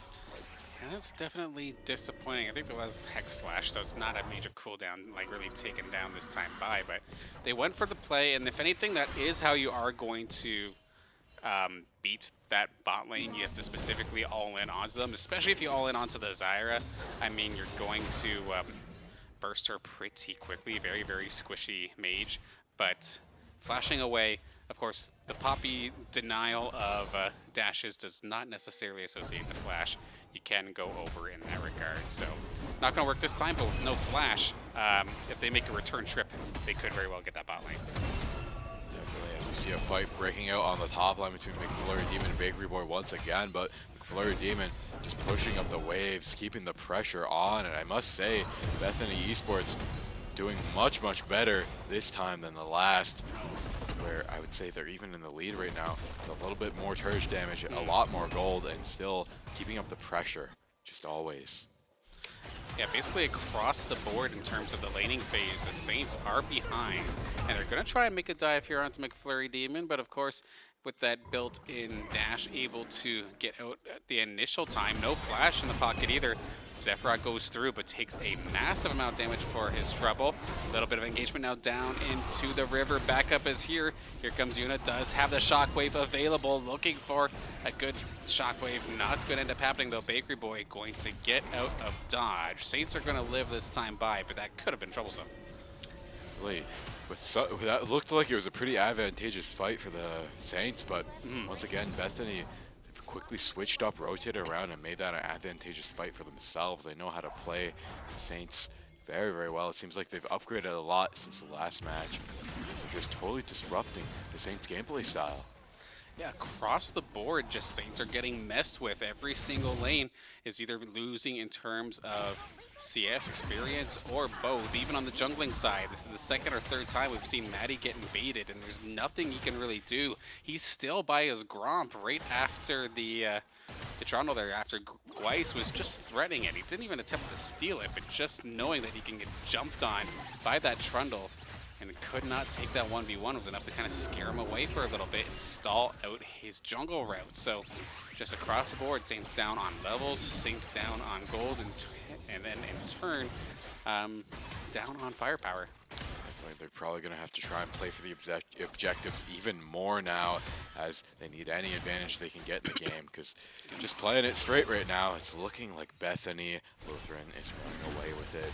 And their jungler, jungler being low, getting stolen from, that's going to hurt more and more. You don't get those ganks, you don't get those objectives. It might all snowball out from there. But right now, the Saints just playing it safe, playing it by the book, and waiting for the objectives to come out, because I think that's when they'll jump out and start making those more dangerous plays. And McFlurry Demon just getting these stuns and just outplaying Bakery Boy top right now. Yeah, CSY is not even close. You got the kill in the pocket as well. And you can see these trades are ever so slightly in the favor, especially if you dodge the skill, the skill shots.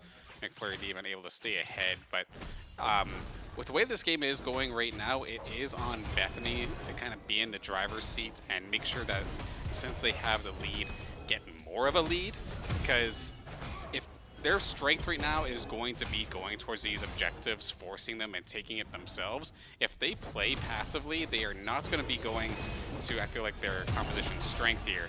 As we now see another top lane skirmish, but Gweiss is right there. Has what the, Rift. Rift Herald as well.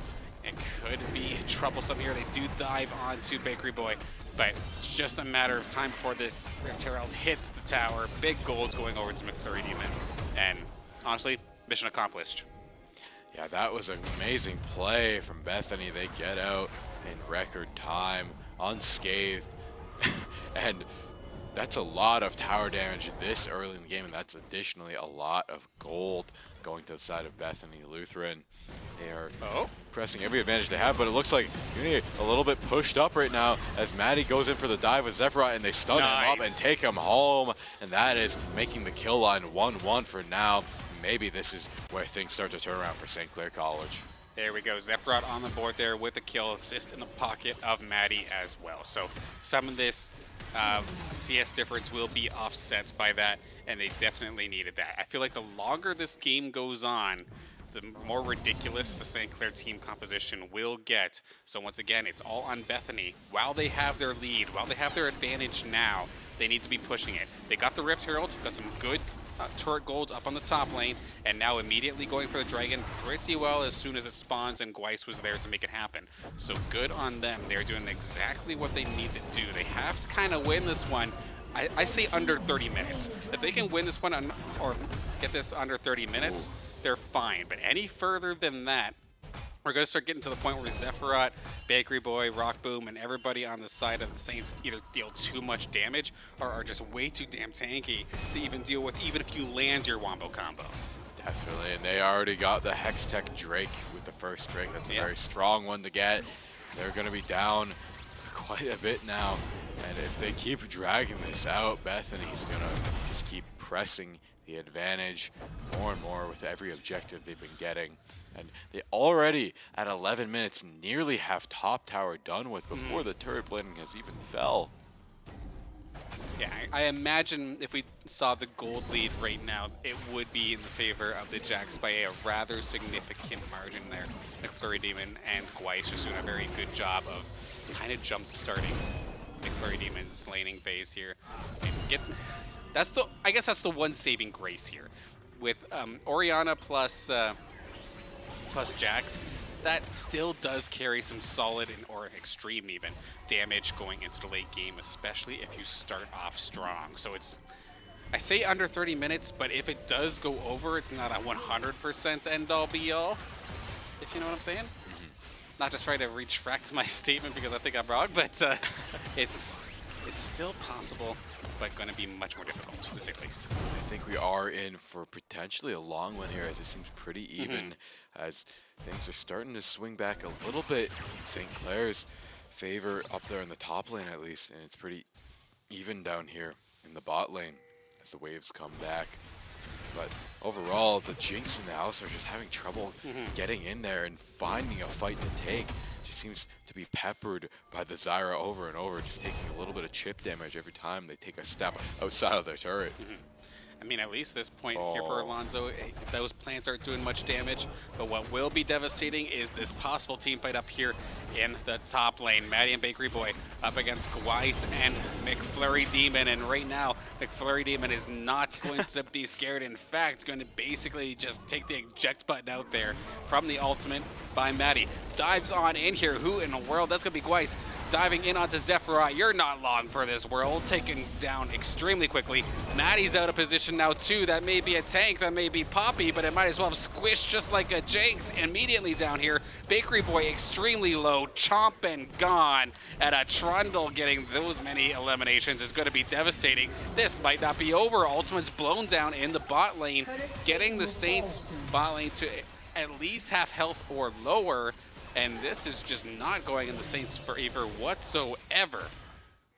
Yeah, they're they're just completely seems like a total reversal of the last game.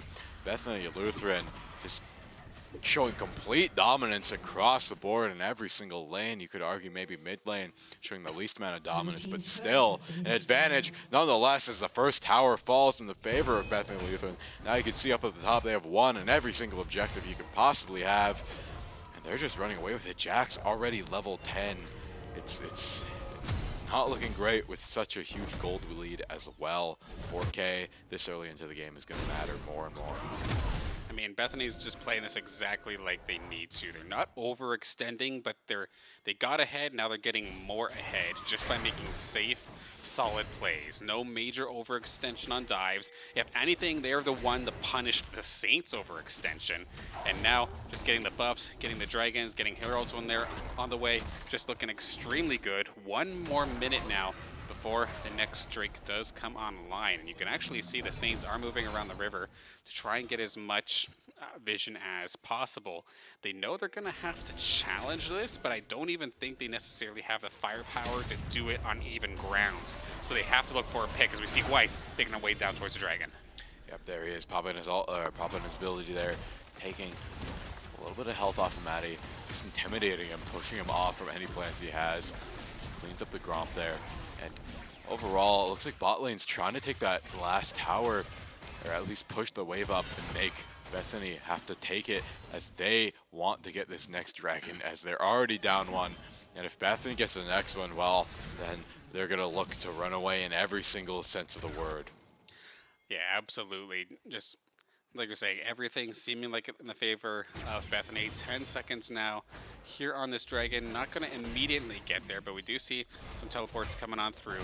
Rift Herald actually is just going to be soloed out here by McFlurry Demon. The Saints are going to know about it, but it's too little too late. Going to be in the pocket of the Trundle and they must know that this Rift Herald's going to come down at some point here. They're going to immediately dive on the Zephyron, immediately get smoked down. You are gone.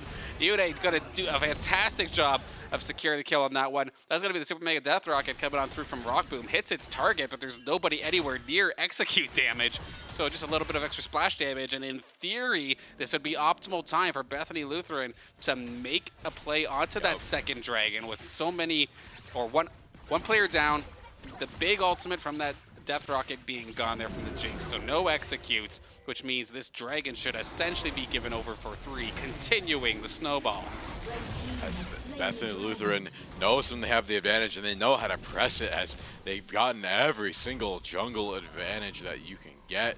Both Rifts, both Dragons.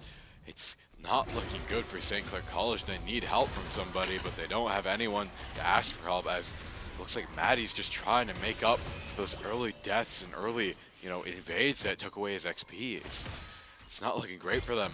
And essentially being down a player, there's not much they can do. It seems like on all fronts, it's it's been tough for any of the Saints to get in there and do anything.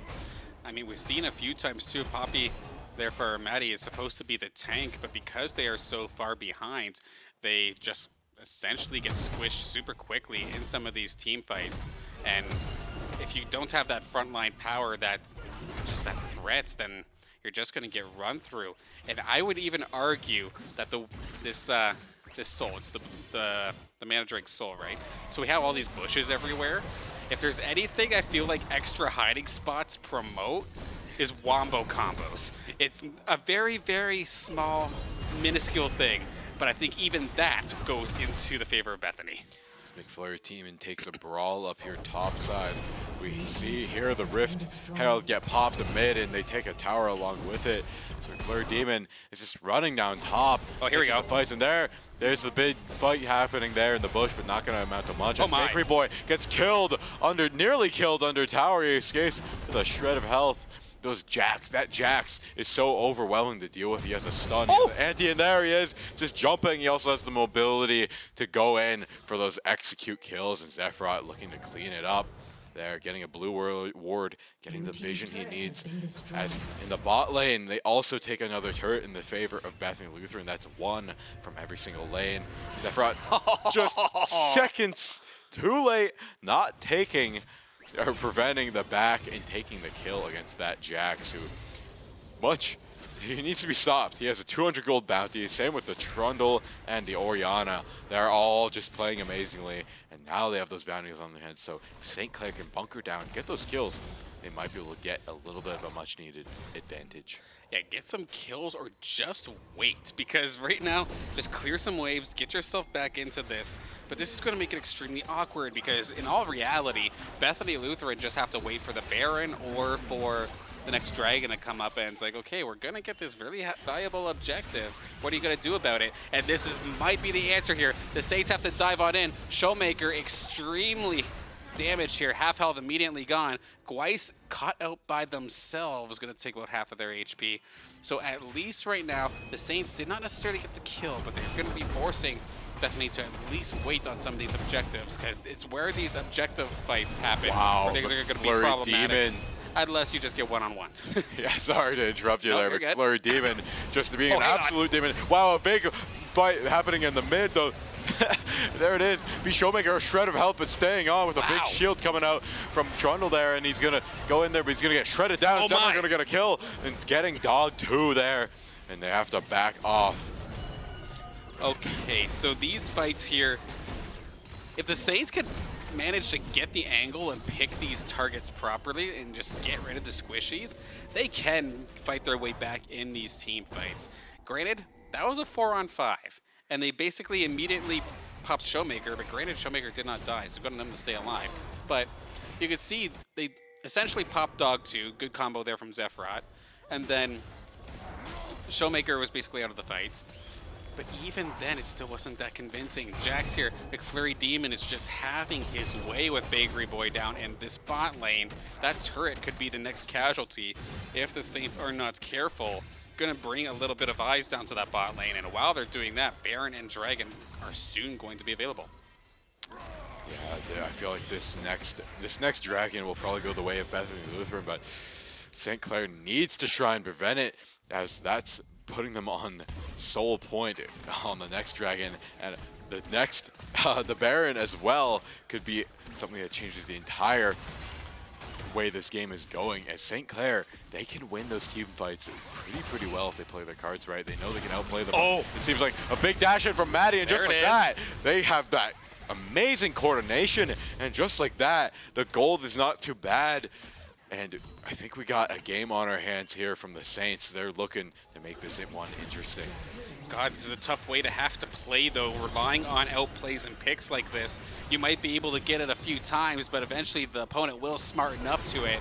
And especially with a need to carry as vulnerable as Miss Fortune, they're going to figure it out. Lonzo diving on through, looking for an engage, but it's such an awkward position, they really can't do anything. They have to watch out for Yune's uh, Shockwave. It was in position to kind of separate the tank line and the DPS line.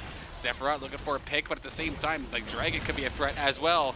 Diving onto Yune, good shield though coming across the board. This Dragon is getting dealt with by the side of Bethany, going all over the place, to kind of see exactly where everybody is, is kind of trying their best to get to this mid lane. But Yune, even though got the stun from Zephyr, staying alive, and after such an awkward and messy scrap, this will be Dragon number three to Bethany. Yeah, that is a. St. Clair, like you said before, can take those team fights time and time again, but you know, Bethany Lutheran just winning so hard on objective and still putting up good uh, resistance there in the team fights. And there's a little bit of a technical pause, I believe, coming out in the league match, and it's very, very well played from everybody all around. As you can tell, it's about going to be about a minute till we're back in the game. So to break things down, Bethany Lutheran in this second game has seemed to found what makes the Saints tick. They found how to disrupt their entire game plan, and they just have gotten a little advantage, a little advantage time and time again, and stacked those and have been snowballing it all the way to where we are now, where they're one point away from Soul. They have three towers over the Saints. They've gotten every rift, and now it looks like they're eyeing Baron. Absolutely. Just like like I said, the Bethany squad have just been able to make these methodical, slow, but not heavy overextension plays to get themselves a lead to the point now where they can just safely like contest these objectives over and over again. And it's like, okay, we're so far ahead. Do you want a five v five? You want to try us? And Saints are like, just no, we, we we don't. We're that behind, and it's just making them fall that much more behind here. Because now, with three dragons on the plate here for Bethany, now the Dragon Soul becomes an issue. Now Baron is going to become an issue as well. Now that it has spawned here, and let's be honest, McFlurry Demon just on an absolute rampage in the top lane there with the Jax, with a lot of help there from Gweiss who can 1v1 the Jax and deal with him right now? I'd argue nobody on the side of the Saints. So he has whatever lane he has, he needs either two people, if not more. Otherwise, you're probably risking your inhibitor. Yeah, all the eyes are on the K'Sante right now as, you know, we know the win rate, we know the champ should be pretty strong, but don't sleep on Jax. The Jax top pick, I've been playing it myself. It feels unfair sometimes. Once you get the advantage, you can just keep on pressing it. You have a stun, you have defensive capabilities, you have the offensive capabilities, and you have a lot of CC potential as well. It's a great uh, champ to have on your team. And like you said before, the Saints have so much to contend with, with Soul Point being on the, bo uh, in the bottom jungle there, and the Baron resting on the top. They have to pick their battles, pick them well. It's just like so weird too because like this is example A right now for exactly why you don't go um, the the game's over in draft. Yep. Because sure, in all reality, the Saints have every tool on their champions to basically counter the majority of what Bethany uh, Lutheran College want to do. But They've been playing it extremely well. They've been finding their picks. They've been winning their individual battles, and they've gotten themselves enough of a lead early to the point where even though they may have the tools, the tools are too weak to actually get the job done. So if the Saints are going to win this one, they have to take this late. But even then, that still doesn't give them the surefire answer here because of this little bugger down in the bot lane. McFlurry Demon just pitching a tent and making his home down in that bot lane, forcing Bakery Boy to stay there. Granted, they both have teleports, so if a team fight does break out, they can get there in time. But the tankiness of the K'Sante compared to the overwhelming damage from McFlurry Demon's Jax right now is a big factor. And not only does he have uh, the, the damage to back it up, Jax's ultimate has such those stuns like that, but he's going to get stunned right back out. We're having a little bit of a brawl down here with the bruisers, but not much is going to amount to it. Baker Boy has to activate his passive there, his uh, little knock-up, and it's good occasionally, but it's not good for every single engagement. As McFlurry Demon has the poke and has a long range to just wait it out and then jump in when it's his time he can play on his terms, and Bakery Boy just has to walk in and take the fight whenever McFlurry Demon deems it so. Man, doesn't even need a stun to really put any pressure on the Bakery Boy. And now Gweiss is here once again, looking for the finisher onto Bakery Boy. Bakery Boy not going to let that happen, but going to opt to stay by the turret for now. And one thing that kind of slipped my mind there too, we did see it just a couple of seconds ago, but I did not realize the counter-strike from Jax completely one-shots a minion line. So just your pure pushing potential as well is not necessarily a stat that's really kept track of, but it's a massive threat nonetheless here. And oh, Bakery Boy, you're going to be in trouble, my friend. Here comes to the pillar is absolutely on point. Going to feed this one on over to the Jax in just a moment's time, unless, okay, they're actually going to turn this one into a team fight, it looks like. Diving on down into the bot lane, Gweiss has been caught out, Flash is burned, Rock Boom has the flank, the choppers are down, and Gweiss is going to get shut down onto the Jinx, exactly where it needs to be, and Alonzo oh. from the oh. back line, get excited and charge on in, Rock Boom! Can he get some more on top of that? Absolutely are. That's going to be a kill on over to Zephrot this time.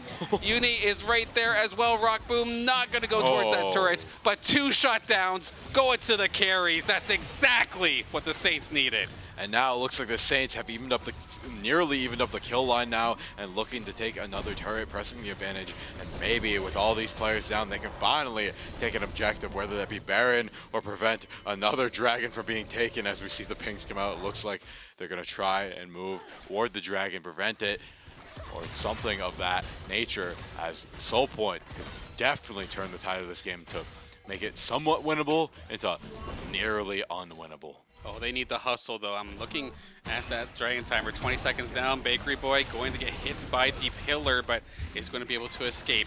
Looking at ultimates, I'm curious as to what was used in that bot lane fight. Who will have what? It's going to be close there for the side of the Saints with basically all but Zephyrot's ultimate off the table.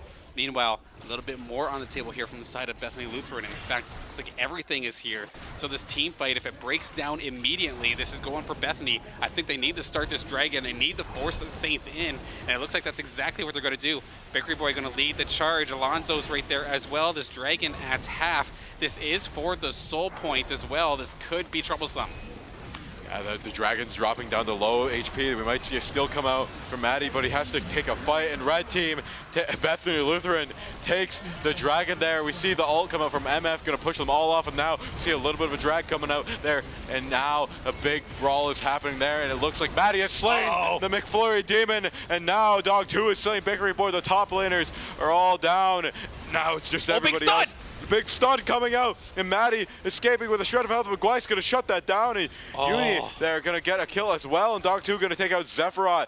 And back and forth, it looks like it's a tit-for-tat situation as we get kill after kill, trade after trade. And now, uh -oh. Bethany Lutheran coming out on top with Soul Point, and now they're looking to end it all by taking the Baron Nashor. Okay, this Bethany Lutheran squad wasn't tanky enough already. Give them the blue soul on top of that. They have regen for days. And now they're going to get this Baron on top of that as well. That's absolutely heartbreaker here for the Saints. That fight was so close to winnable. Sephiroth was off to the side, just peppering damage. Nearly had Uni out of the fight, but could not quite finish them. And Dog, after initially getting stunned out after using the bullet time, was able to stay rather safe. Showmaker did a really good job of firing off route after route and just disrupting the entire mobility of the Saints to the point where none of the carries could actually die. Sure, McFlurry Demon went down, but everybody else was alive and well. And the fact there's so many members alive, get that soul, get that Baron, and now we can expect some split push action more than likely here in a second with four in the middle, and then McFlurry Demon gets to do whatever he damn well pleases. Uh, the Saints need to somehow survive this Baron buff and maybe play for Elder Soul there, but it's not looking like that's going to be the case as Bethany Lutheran is just firing on all cylinders here. It looks like the Saints are waiting in a bush to take on a massive team fight. But look at all those wards. They see it coming from a mile away. They're not going to play stupid. They're going to play for these waves and play to take down the Nexus here as they play very slowly. Yeah, I mean, mid lane take as long as you need because down in the bot lane, McFlurry Demon isn't getting ready to start knocking on the door of this bot lane turret. Has the attention of two of the Saints. This Siege minion could just do whatever it wants at this point, firing away slowly but surely. Just the mere presence of McFlurry Demon in this instance is enough to scare away the Saints. Look how fast Who that slams? turret evaporates to the DPS of McFlurry Demon in this instance. And that is going to be on top of the carries of the Saints. That is terrifying as they are now knocking on the door of the inhibitor. They're here at the pearly gates of their Nexus here, and now Bakery Boy up at the top, trying not to get caught out, waiting behind that gate there, looking to take an engagement a little bit in a safer spot where they can back out and maybe not get caught out. Gweiss there, gonna take the damage and back off. It's like nothing though. Nothing. Just a little bit of a little, like a little stone dropping on his back in the woods. But he's fine. He's ready for it. He's so tanky and he's so ready for it. As him and McFlurry Demon, the tanks, leading the charge here towards the bot lane turret. We're gonna see a fight come out. A little bit of a push off. Oh. The MF ult gonna do a lot of damage there on Zephyros going to take the brunt of that. They're all very, very low. Unit going to get a killing spree there, getting a double kill, make it looking to make it a triple as Lonzo's very, very low. They take the turret out, and now it looks like this might be the nail in the coffin for the Saints. If they get an inhibitor, they have the Baron buff, and now just two turrets stand in the way, but they might as well be paper mache as they get taken out one after another. Sephiroth and Lonzo trying to make a final stand, but McFlurry Demon has the DPS, has the stuns, has anything you need, and that is going to be it. Bethany Lutheran making this an interesting game three with taking it all the way to the bank, destroying the Nexus.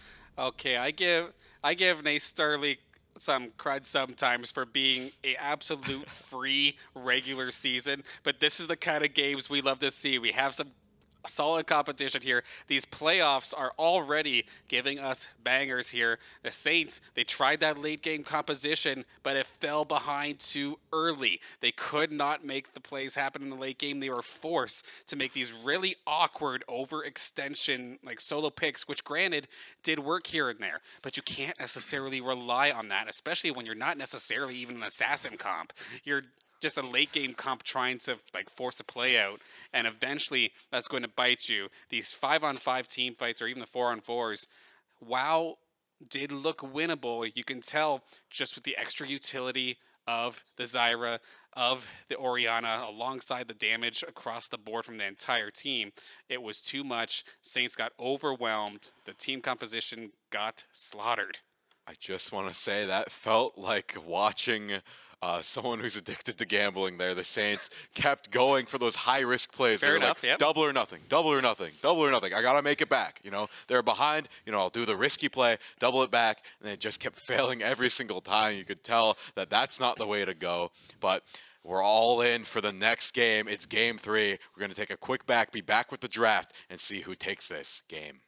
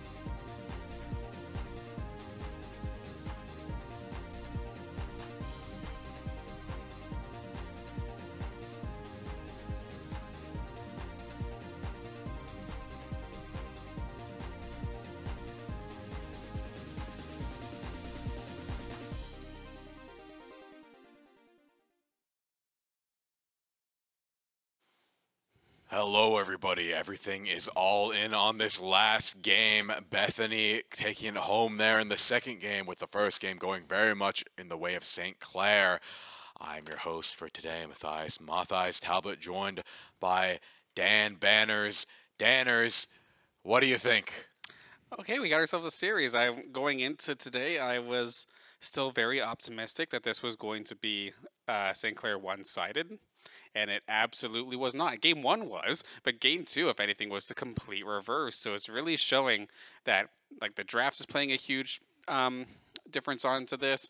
We have the um, well, yeah, the team comps, of course, the way that both of these teams are playing their compositions, that even though it seems like one team may get an advantage during draft, that it does not mean it's the end all be all. You're able to play around it. Bethany did that game too, and they're already throwing a mix up here. They're picking the or Saints picked the red side.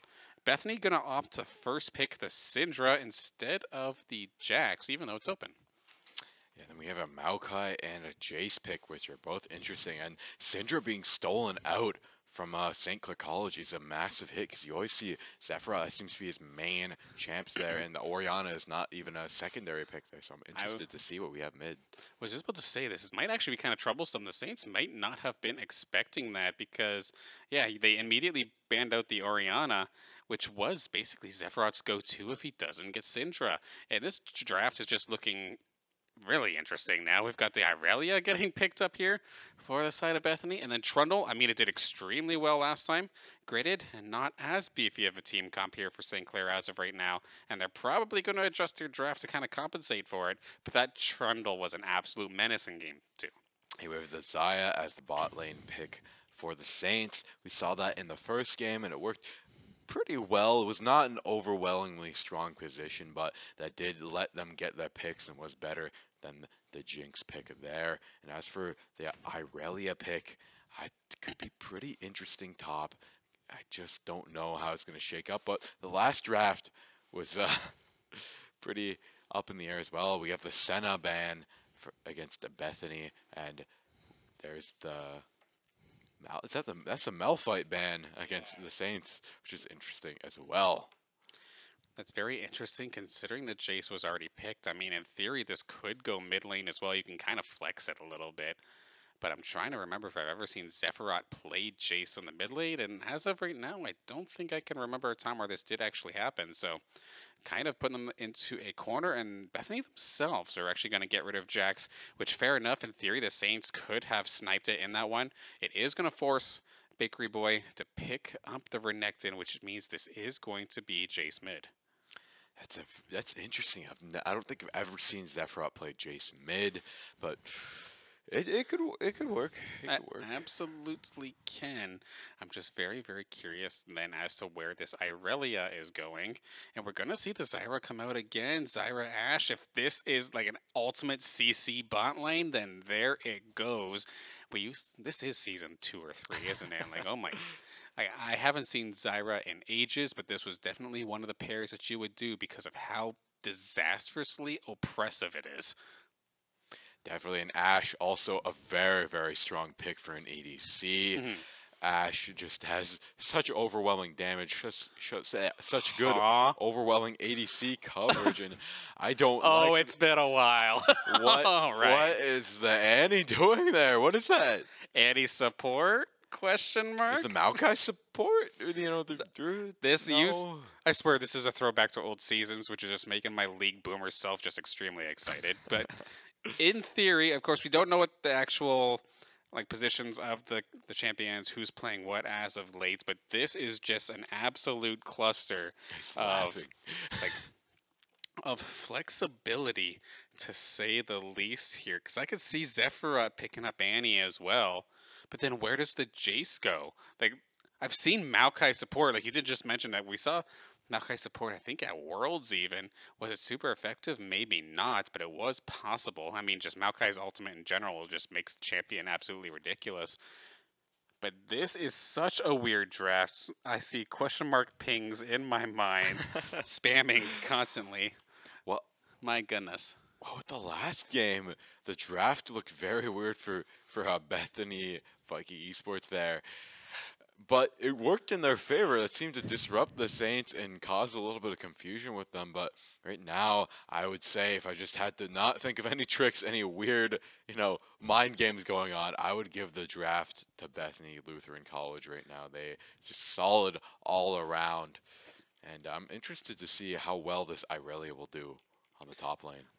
Absolutely. So this is going to be the first time we're going to see Irelia, I feel like all season long, let alone here in the NACE Star League playoffs. But one thing that does make me nervous is when I start seeing a team doing weird stuff, I assume they're on the back foot because like oh um, this is uh, something you're not going to expect. Oh um, look at this good luck playing against this. The thing is is those are the strategies that usually aren't very practiced. So i am a little bit nervous here for st clair i'm not going to lie. There's some of these picks that i feel rather comfortable with assuming they're the the players that I think are going to be playing them are. It's like, do I trust Bakery Boy on Renekton, for example? Absolutely. Maddie on Maokai? Absolutely. But the Zephyros for, or the Zephyros for Jace. The Jace for Zephyros seems new to me, but I feel like it's a, a meta enough pick that you've probably haven't practiced. Where does the Annie come from? And I guess the Xayah is meta enough that Rock Boom's probably played it a bunch too. And then looking at Bethany's, it's just overall solid across the board. There's some new stuff for them for this game, but again, it's not such of a far stretch that I feel like they'd be uncomfortable with it. Definitely. We have coverage, we have new strats, but it looks like they're the old strats if you go way back. Absolutely. But with all of that said, I think we're going to throw it to a quick break before we get into game here. Get everyone prepped, let those timers run themselves down. We'll be right back with the action here in game three.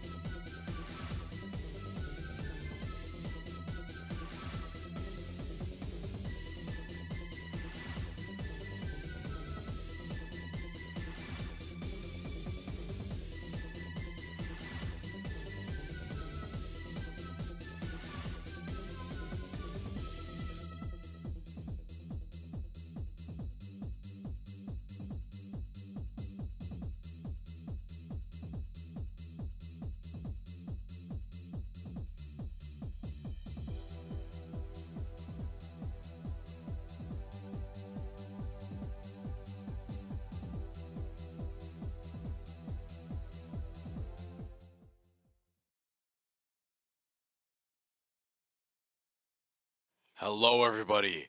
We are back, about to get into Game 3 of Bethany Lutheran College versus St. Clair College.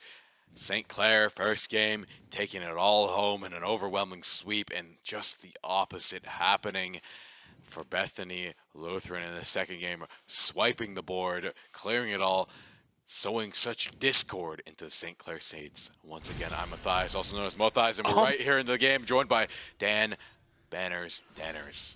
Yeah, okay, that's one way to start things off here. Of course, going to see our Saints up on the right-hand side, and we already had flashes burn there from Rock Boom, which is absolutely brutal to say the least, but if anything, I was going to say with this team composition the Saints had drafted, then maybe the Annie would be the ones doing invadings, but it's actually the Saints getting jumped on first. Yeah, the Saints, they made their plays, they made their opinions, but, you know, maybe they should have been a little bit more democratic about their decisions there, and maybe they should have taken it to a vote, just like you at home can vote for St. Clair in the Scholar Awards, correct? Yeah, absolutely. Seen that briefly up there, but of course, we are currently in progress for being Collegiate Program of the Year here for the Scholar Awards. We're the only Canadian school on the list, and it does not take long. So as soon as we have a breather in the action, make sure to quickly go on votes See or scholarawards.com slash vote. But here we are, right back into the game, and it is moving pretty fast here. Seeing a stun come out from Uni there, using showing that they have pretty good control with the Syndra there. Actually, never mind. oh, hang on. Down here, right by the uh, the Saints side, it's Maddie going to be caught out off guard. Might be able to get out of dodge just fine. Looks like that's going to be the case. It looks like Bakery Boy is going to make the run up top just to, or make the run backwards rather, just to make sure it gets out alive. But uh, Maddie, once again, very similarly to game number two, really getting messed with here in the jungle. Yeah, once again, Gweiss there just has such overwhelming pressure there in the jungle. Rockboom and and Lonzo not knowing how to really push back against this Zyra. The Zyra just, or actually, yeah, the Zyra just pushing them all the way back there to their turret. Yeah, very, very awkward position to deal with. And of course, this is just a really like messed up game to see the Saints picking these kind of oh. picks. NACE playoffs, their their playoff life on the line here up against Bethany. Whoever wins this game moves on forward. Bakery Boy, good little slice and dice, a little bit of extra damage, but um, Flurry Demon going to be kind of playing off to the same kind of game plan. Sure, it's not a Jax, it's a little bit tankier there with the Irelia, but uh, starting off strong, nearly like 20 some odd CS almost over uh, over Bakery Boy already. Very strong start there. Uh, but here in the mid lane, it's pretty even. Not much going on there.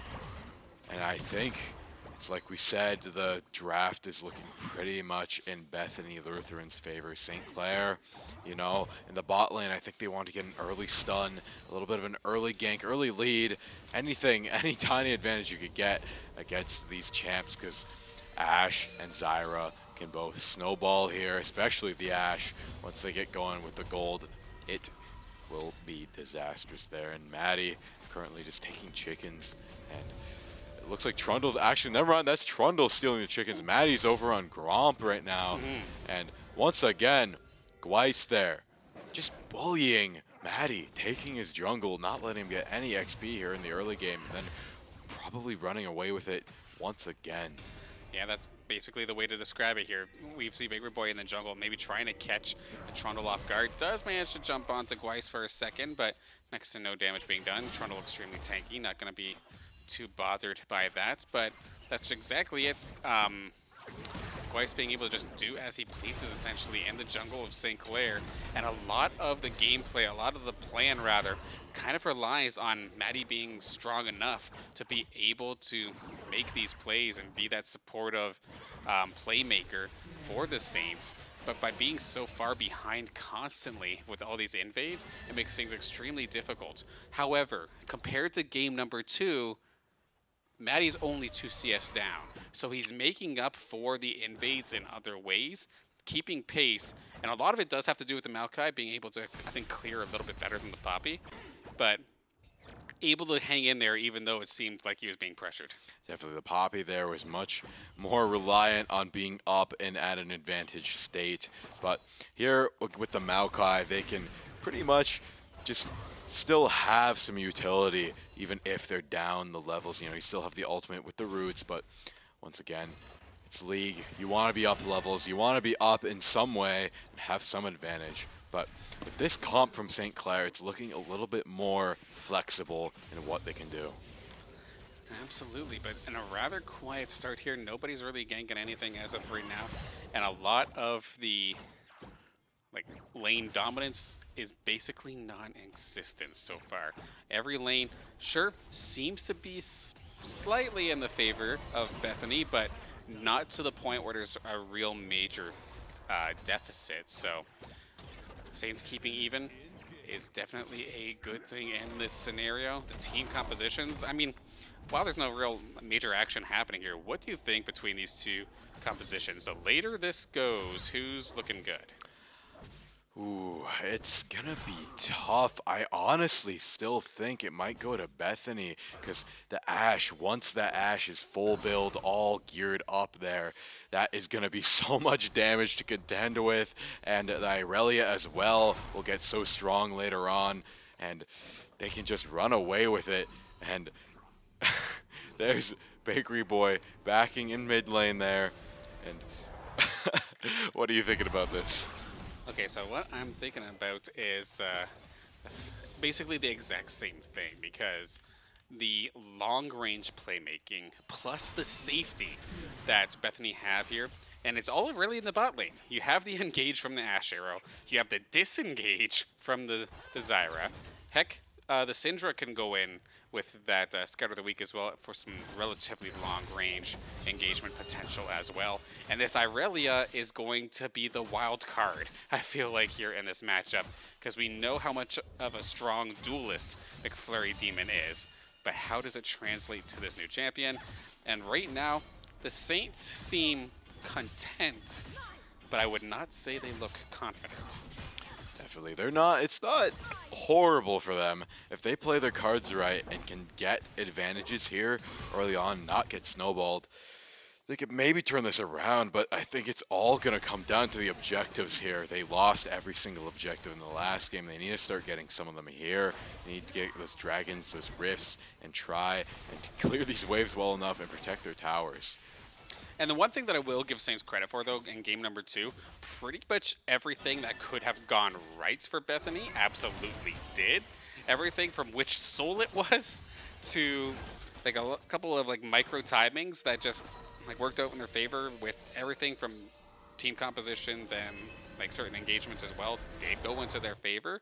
But even then, the Saints were still at a fighting chance. They were still close, to say the least.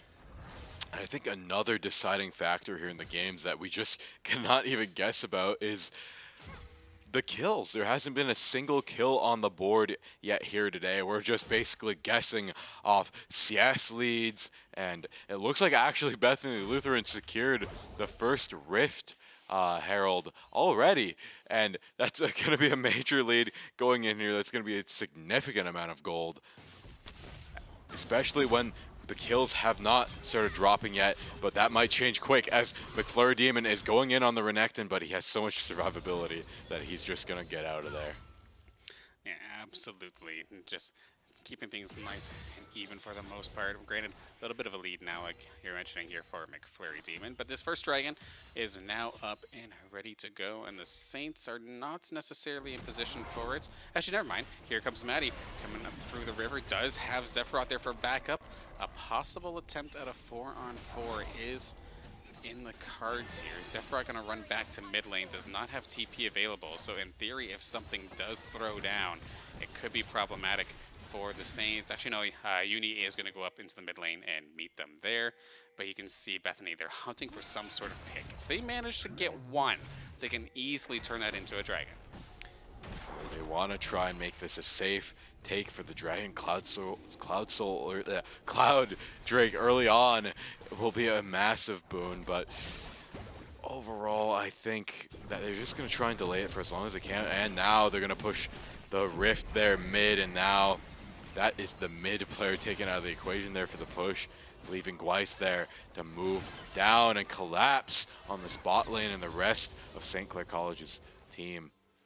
But looks like they're just going to get out scot-free, retreat, play it safe, and both teams being very, very cautious. Neither team wants to be the first one to lose a member.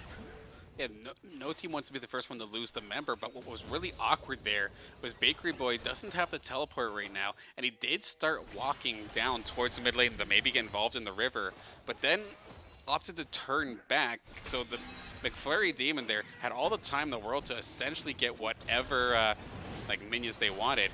Ashe Arrow going all the way up to the top lane, did not make the mark in the river, but almost maybe nearly made the play there onto Bakery Boy. But the Saints, after a slow period of time, do get this Dragon started, but it is not going to be started like rather comfortably. Is this is going to turn into a team fight, and he dives on in. First blood goes over to Rock Boom. Maddie going on fourth, maybe try and find another. Dog 2 is in relatively safe positions, but just has to deal with his Tibbers. But with the one player down, it is actually going to be Lonzo who's also down in this instance as well. I didn't even see him pop in that instance. So one for one, nobody can really make a play off of this. Yeah, that was uh, good for Saint. Or yeah, that was a very interesting trade back and forth there, as things are not looking great. Oh, but wow, Sephiroth goes in and TP's in, goes for the dive, and he gets in. He just walks right in there, gets the double kill, and Rock Boom so close to death. But there he is, still hanging on by a thread. They're all gonna back and spend their little cash of uh, allotment of money and that is a significant lead that St. Clair can now press. Absolutely, but this gold lead not necessarily too huge here in the side of Bethany. Just a couple hundred in the bank for the favor. Dragon's still up. We see that's going to be Lonzo just going to get miraculously popped in the river. Uni and uh, Gweiss are going to be able to secure that one, which means this Dragon is just free pickings. Yeah, they're to burst this Dragon down real quick as no one is there to contest. And now the first Dragon is going over the Bethany Lutheran. While they are down one kill now, it looks like things are starting to swing their way and the Saints need to start taking these jungle objectives a little bit more seriously. It seems like they've passed every single one of them up so far, and it's starting to burn them. Yeah, they're going to maybe try to collapse here onto Gweiss, though, who's copped to in a rock and a hard place. Sephiroth's going to be the first part to engage, but he opts not to dive in wisely. It would have been directly into Showmaker's uh, Stranglethorns, and it would have been brutal. Actually, hang on, the, the secondary engage. Rock Boom is going to get the second kill of the game here for himself. Does manage to take down Showmaker. Now Zephyroth hunting around, does have the cannon available to maybe try and get a snipe onto Dog 2. That would still hurt. And to be fair, Zephyroth two kills in the pocket for himself as well as an assist. So compared to game number two, where he was kind of like in the, the middle ground, He's a little bit ahead here in this mid lane battle this time by, and is still very, very dangerous, but still squishy. What is his positioning, though? This is going to be brutal. Alonzo is going to go down, and so oh, wow. Rock Boom, never mind! Wow. They're going to turn it! And fantastic job from the Saints bot lane, but the shutdown still does happen. So Rock Boom is on fire with a five eliminations but that shutdown did go over to the mid laner. That was amazing to watch. A horrible position to be caught out in, but that managing to to try and even the playing field. Well played by Rockboom. You know, got to do the best with what you're given. But overall, things are not looking good for them. They are up gold right now and up kills, but they are not up towers. They're not up the dragon, and this is what happened in the last game here. It seems like they let all the objectives slide by the wayside as Bethany Lutheran just has their eye on the ball for what they want, and that is those towers. But it looks like all the minions down bot. Yeah, the bot tower already down, and looks like they're going to secure another Rift Herald, which very well already could be another additional tower. Absolutely, and it does not look like the Saints are going to be in any position to try and contest this. Rift Herald going over to the pocket of Bethany, nice and easy. Where do they opt to take this? It could very well be a quick and easy destruction here onto this mid turret if they do opt to do so, but definitely going to take their time with it. They don't have to use it right away, of course.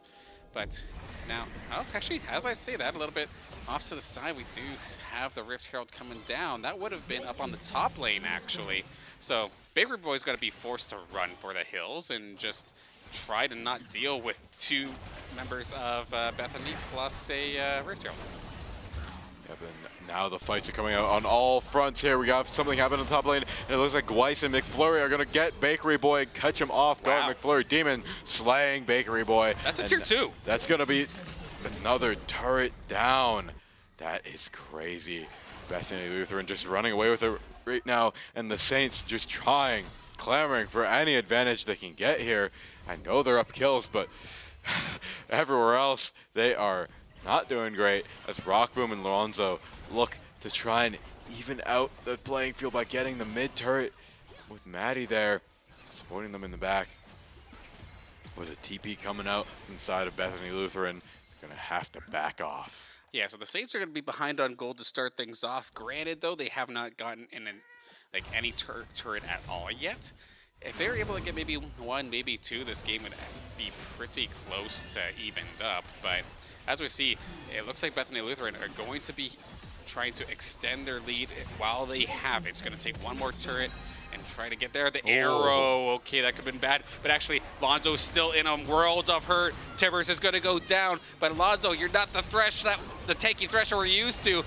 And he is going to hang on by a thread. This might be turned. Lots of AoE damage in that little corridor from Zephyros and Rockboom. Fantastic job. Rockboom still has the ultimate in the pocket. They want some kills here. Maddie's on the flank. So many low health bars, but it's so much gold on the table. Can they get it? Maddie's looking, but they're all focusing in on him. Nobody is really healthy enough to take the lead here in this fight. But that turret even doesn't have much health left. Are they going to try push it? That is going to be a big blast from Zephyros. But there's so many low health bars that are just going to barely get away. Such a barely missed opportunity there. They could have maybe turned it all around there, and it looks like they're still trying to go for it. They take down a turret. They're trying to prevent the backs there. Maddie going to unleash the ult, get Weiss there, but none of his team came with him, and they're not going to find a single kill, but they are going to find the Mountain Drake, which is going to help them a little bit, but it's not the best Drake to get here in the game for their current team comp. Yeah, I'll just take it for the gold at this point, right? So this is going to get us within 1,000. So this game still anybody's game. Trying to take the breakdown here. It looks like the Hex Dragon Soul is going to be the case. So we're going to be zipping around this map, it looks like, this time by.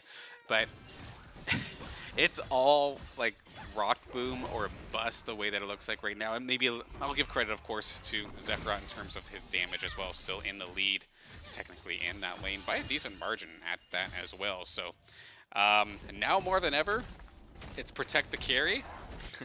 and it's do or die on that. If there is any sort of flanking, any sort of picks, it is going to be absolutely brutal here for St. Clair. And the problem is the side of Bethany have multiple tools to make that pick happen. We've seen it nearly take out Alonzo that time by. The fact that he didn't die in that last fight was so surprising considering he was caught out by himself. But if that happens to a uh, Xayah, that happens to Jace, I don't think they're going to be as lucky. Granted, Rock Boom does have the um, the one get out jail free card with the ultimate, but once that's gone, it's gone. Definitely, they only have so much luck to play with, only so many cards in their hand left to play as looks like Bethany Lutheran is posturing towards Baron, clearing that out, warding it up, and they're all collapsing upon it. And if Huh? this Baron gets taken this early, this could be disastrous for the Saints. They need someone to contest it, and they need uh, it lands the Asher or their Alonzo there. McFlurry Demon is going in there. He dashes on it, gonna try and get the dash reset off of Lonzo, and he finds it, but shut down coming out from Rockboom. Sephiroth gonna get a kill as well. He's on a spree right now. Gweiss gonna try and take him down as well, and it looks like the Saints are gonna flip it here as Maddie is slain dog too. They try and push them all the way off of Baron, and that is the plays we need to see if the Saints want to keep their dream alive, and looks like they're going to go for an early Baron themselves. If they're going to take it, they're going to take it right back. I mean, the jungler's still there, and Maddie's actually extremely low, and I don't think a smite's available. So this could be extremely scary here. Gweiss does not have the ultimate, but still very tanky. Zephyrod is going to be the first line of defense here, and a big burst damage is going to go down. That's the Jace going down, and the steal! Never mind, that's not the steal at all. That is Maddie securing that one barely. I thought the Maokai was on the other side. Don't mind me, but Saints getting the Baron, so that's going to be huge. Going to get themselves in this one and even get Gweiss. But this wow. fight is not over. Two teleports. McFlurry Demon looking to secure one. Never mind, here comes Yuni. He's going to get one and takes care of the Maokai. If Rock Boom goes down, that is going to be a huge bounty going on over to Bethany Lutheran. But the cavalry has arrived. A messy Baron team fight, baiting me even a little bit there. Nicely done there for the Saints to get that one. But, uh, all right, we take those. Yeah, we take those indeed, and you want to try and reset with your team. Use this buff to full advantage while you have it. And they need to use it very quickly, even out the towers they're down to. And hopefully they can try and play for some drags now. Yeah, absolutely. Rockboom getting out of there was absolutely huge. Gets two um, eliminations on their own right. Sephiroth losing the bounty over to the other side of Bethany is going to hurt. However, I think we take the Baron and give that up any day of the week at this point, as long as we can make this Baron power play work in our favor here. Showmaker is going to get absolutely dumpstered on, and Bakery Boy getting his first kill of the game here after a solid Tibbers Ultimate and big stun from Alonzo. I think if they can just take some turrets here, this could be the thing they need to flip the script of the game. They're up kills quite a bit. They're up gold, uh, at least uh, nearly 2,000, and if they can just get these turrets, I think it's just losing those two rifts is what really did it, or losing the... Actually, they got theirs. Never mind. I think just losing those turret damage is mainly what's holding them back here. No, absolutely. And this, as a, this game gets later and later, I know you can hear us fumbling a little bit, but I can only imagine the intense intensity that the players themselves have to go through here late night League of Legends action for your playoff life. Absolutely intense scenario here for both the teams and everybody involved here in this matchup tonight. 20 seconds now for this Dragon to come on through. Currently, Dragon scores even, just one to one. That win condition is still a little ways away here. But who wants to take it and maybe try to get some extra buffs in the pocket as we move along in this game? I think we're seeing some backs here from Bethany Lutheran, and maybe yeah, they're, back. You're gonna try and reset, gain the health back, and reset for the dragon fight here. And they're not gonna get there in time though to contest as Rock Boom just bursts it down with all that DPS, and they take their second dragon, the Hex Drake here. And now they're going to clear mid They still have this Baron buff. They can still make something happen here, but they're going to play it safe as it's probably just waning out right now. Yeah, they gonna end up playing it safe, and actually McFlurry Demon is just gonna straight up 1v1 Bakery Boy. The dominance is popped, but you have next to no HP left in this one. Bakery Boy may not be long for this world unless he can make an escape, but he's probably gonna have to sacrifice his life, whether it is to the Zyra or whether it is to the turrets. We see him still running amok down in the bot lane, going to end up going down here, it looks like. The roots, not quite. Oh, does get taken down. Snipe shot coming on through here from Dog 2. Showmaker gonna pick that one up. But yeah, Bakery Boy just caught pushed a little bit too far ahead overextended a little bit too much, trying to find some way out there, but got collapsed on nonetheless, and Zephrot going to take a tower in the top lane, a much needed tower. For Saints, the Saints right now, and I think they might be able to turn this around. They might be able to win this. It seems as time goes on and on, St. Clair College is starting to win more and more fights. They're starting to take more and more objectives. And if they continue on this path, I think we might see a win coming out for them. I mean, this is still striking distance, though. Like, sure, the Saints got themselves a little bit of a lead here, but I'm not going to lie, a lot of this relies on Rock Boom staying alive. And we mentioned, like, sure, if he has his ultimate up, he has his flash, he has his cleanse, does have multiple tools to keep himself safe from maybe one or two hits, but there are a lot of engage tools, a lot of CC tools on the side of Bethany Lutheran College that could absolutely shut him down. And we know Rock Boom loves to dive on in and secure kills quickly. If he maybe overextends ever so slightly, that could be a massive turning point in this one. He's going to have to try to I guess, withhold the jitters of being so far ahead in the game, thinking you can take on the world. Because we see even just little death bush plays like this, it just takes one moment. He still has that big old uh, 700 gold bounty on him too. So if Rock Boom could stay safe, I think Saints have this rather convincingly come the next team fight. But one mispositioned moment could absolutely flip the tables. Flurry Demon looking for these fights, being hyper aggressive, taking them even under tower there. Bakery Boy gonna have to back out there. Okay. Out there, and it looks like the Saints are gonna take another tower in mid, and now there's just one tower that remains in mid lane guarding the net, uh, guarding the inhibitor. As looks like he's gonna have to back there.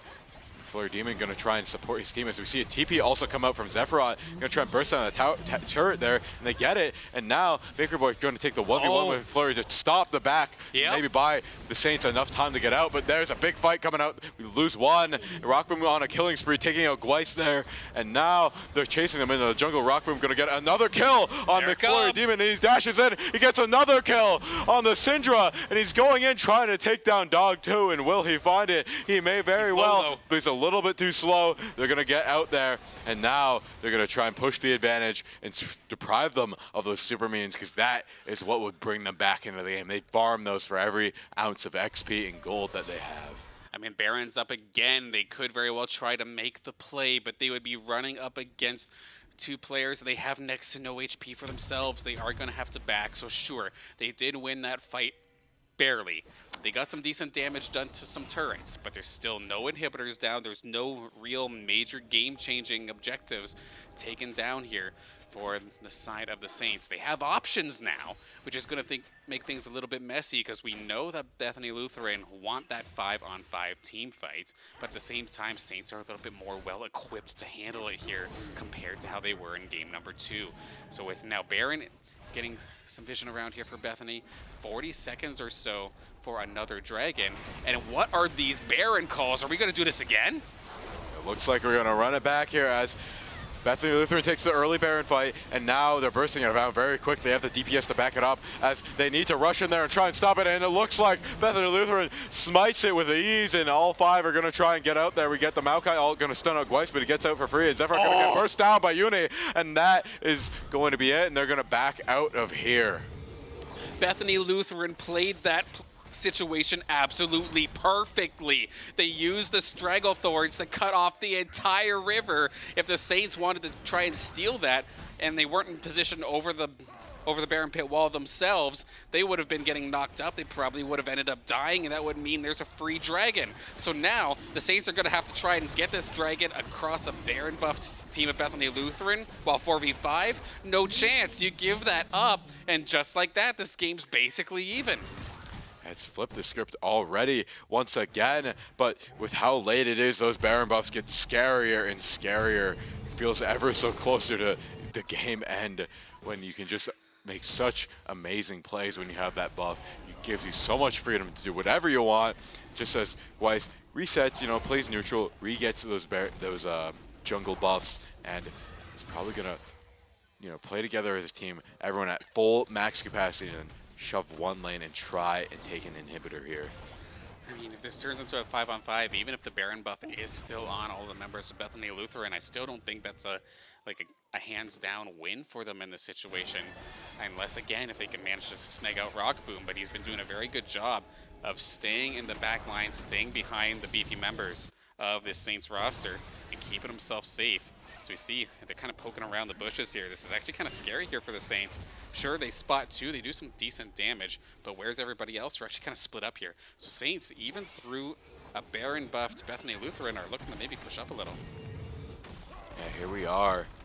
Looks like Weiss, again, once again, just clearing out that jungle, and it's Oh, that's greedy. Oh, Baker Boy getting a little greedy here, pushing up very, very far, trying to steal the buff, trying to disrupt. Gweiss there in the jungle, but he's going to try and dash towards him, but he gets out for free. He knows he has his team. The team has his back. and they get out scot-free. Yeah, that could have been problematic there. Had he maybe had to do a fight without one of your tanks, but Baker Boy is going to be able to get out of there just in the nick of time, it looks like. So, no harm, no foul, I suppose. No major objectives now on the board for a little while. Saints just kind of waiting for this Baron buff to time out. In theory, it's all up to Bethany Lutheran if they want to be the ones in the driver's seat to make the play, but I think even they are not necessarily 100% confident in their abilities to take a team fight in this scenario, especially under a turret. So once again, they're just going to push up their lanes, um, get the gold that they could possibly get through them, the minions, through their jungle, go back, buy, and within a couple minutes time, it could very well be time for another objective. It looks like we're gearing up for a little bit of a team fight mid. We're just trying to delay any sort of game-ending push from Bethany Lutheran here in the mid lane as they're all just playing as a team, being collective, just being a little nice walking ball of death as Vice here moves through St. Clair's jungle, clearing it out, getting any sort of advantage, warding it up and waiting in a bush. He knows that red buff must be coming up soon as he wants to ambush somebody, but he's going to back off. Both teams playing pretty passively, not want, wanting to be the one to start the team fight and lose it here. As yeah. Vice goes in uh -oh. for a fight, he finds a straggler there, Maddie on his own in the jungle, but it's gonna found out, sighted out, and now he removes that freedom of him rocking around for a little while as we reset back to mid lane. Yeah, this is your NACE Star League playoffs like season on the line here, and of course that was introduced on Twitter like not too long ago, earlier this uh, earlier this week. This also has implications for the NACE Super Conference because you need to make, I think it's the top eight of playoffs in your region to make it in there, which of course the Saints are going to want to be in. Which I guess to compare, it's the equivalent of like how NECC has the Legends division. Um, basically, a loss now would be absolutely heartbreaking on multiple levels. So everybody being so careful here, especially with how late it is today. My goodness. Yeah, they're all jumbled up here mid. This is the make or break moment. The inhibitor is actually vulnerable here, so if they can make the right play at the right time, it could all go their their way right now. McFlurry Demon in the bush here, Trying to find a little bit of engage. Every single poke here is very scary. You do not want to be caught off guard. I mean, that's the one person you don't want to face check, though, on the side of Bethany. If you face check McFlurry Demon, you very well might just get 1v1. Oh, Gweiss, all on his lonesome, though. They might catch him out here as the whole team is there to collapse on him if he tries to make a greedy play. Bakery Boy a little bit out there. He gets caught out, and now he's going to get stunned up. But the Maokai rolls through. Maddie going to stun up a oh. lot of them, and now they're going to take out one, take out two. They're all very, very low, and the Guardian Angels are coming out there. And now Zephyr finds one what? and two, and they're falling one by one. Maokai going to find one as well, and that is a team wipe for St. Clair College. They get the ace. That is insane, and now they're free to make a play. This might be it. This might be the thing they need to take it all home. Rock Boom, everyone doing their part. Of all the props that I was giving, uh, like Rock Boom, Zephron, the rest of the squad, it's actually Bakery Boy who was able to bait out all the ultimates from the side of Bethany Lutheran College. They got antsy. They dove the tank, and it allowed for the rest of the Saints to do the damage they needed. It did not matter if Bakery Boy got wounded because we got your Nexus. We got the next spot in the Star League playoffs. And what a hard fought spot that is. It was all on the line. It looked pretty easy. They were leaning back in their chairs after that first game, but Bethany Lutheran College woke them up out of their deep sleeps and told them, hey, you got to give it your all. You got to give us our, your full attention and put it all on the line to secure your spot going into NACE Star League further on the playoffs. As you can tell, it's going to be good game after good game. All the big players are out here. Okay, I would have been absolutely heartbroken had this been the end of the run. And I'm not going to lie, that game could have gone either way. So absolutely fantastic job from our Saints. Big props to Beth, uh, Bethany Lutheran College. They've put up way more of a fight than I was expecting, to say the least. And I don't mean that the dog on them, no pun intended, but uh, basically fantastic job nonetheless. Yeah, that was a great match. Those the, the whole series was amazing to watch. It was back and forth fights, non-stop. But overall, they, they you know we criticized the comp from St. Clair there in the beginning, but they made it work and they made it work well. I mean, at the end of the day, they just needed the damage to go to the right places, and they needed the gold to go to the right places. All the gold, for the most part, was on their DPS. It was on Rock Boom, it was on Zephyrat, and heck, even a little bit onto Alonzo there. You can still build a little bit of damage onto that support Annie and still be strong.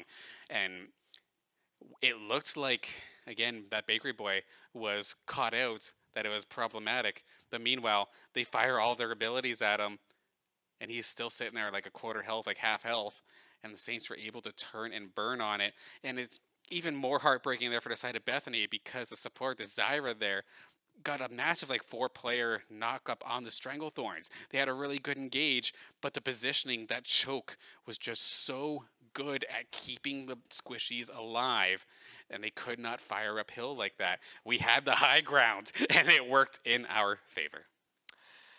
Yes, but with all that said, it has been a great game day. It's very late here. The it Oh went all the way here to review our games. We went up against Valorant, TMU Blue, got the 2-0 victory, and a very similar thing in Overwatch with against Northeast University. We got Hmm. them in the 3-0 as well. Good day for Saints all around, but the last game here today in League of Legends, they gave us a run for our money. Bethany, Bethany Lutheran College brought us all the way there, and it's been a great time. Thank you very much for casting with me up here, Mr. Danners. Hey, thank you as well. It was an absolute pleasure. And of course, a couple thank yous as well. Do want to shout out, of course, the sponsors that make this all possible. Of course, being the St. Clair College Alumni Association, St. Clair's SRC, HyperX Subway, and Tim Hortons. And then to everybody in the back room that made this game day possible. They're always chaotic, but the fact that we can get so many highlights across so many teams all at the same time, it would not be possible without you all. So thank you, Daniil, Amanda, Ari, who was doing the observing for Valorant, Gabriel, who was doing the observing for League of Legends, and TJ, who was doing the observing for Overwatch. Yes, but that's not all. This this is it for that this stream. But tomorrow we have another stream. It's gonna be another game day, and we will have League of Legends once again. We'll have over uh, Omega Strikers as well Mhm. as Call of Duty and NACE Valorant. So it's gonna be good. It's gonna be a good one once again. So come right back here if you want more goodness. Absolutely, and th- that Call of Duty and that uh, Valorant game there for NACE, that's also like first round playoffs. So the postseason for NACE Star League continues on forward. Definitely going to be like games you don't want to miss. Heck, even Omega Strikers, from what I was hearing from Bailable earlier, um, basically winner of that game is guaranteed a top eight seeding finish, which means you get a buy in your playoff round. So still lots of stakes on the line there. So an exciting week coming up through. But the last but not least, before we close out, we did kind of touch on it a little bit as the game was going on. I want to touch on it one more time, of course, and that is the Scholar Awards for. Uh, for our program, we were nominated as Collegiate Program of the Year. We're the only Canadian school that was actually nominated at all. So, trying to uh, trailblaze here for Canadian collegiate esports and voting. Just vote for us for the collegiate program of the year. It only takes about five seconds. You don't have to log into nothing or uh, give any sort of information. Just quickly go on over to Scholar Awards slash vote, or I think even exclamation mark vote in the Twitch chat will pop open that link. So that'd be absolutely amazing. If we can manage to win that thing, that'd be absolutely insane. But with that being said, any final thoughts for tonight? No, it's just a great time casting here, and the players, you can tell they're tired. They are probably very happy. It was a hard fought victory. But overall, thank you everybody at home for joining us here, Yes, watching us yous. all the way through this long game day. But it was such a good one, such good gameplay all around from the Saints. And thank you very much, and join us tomorrow for more streams.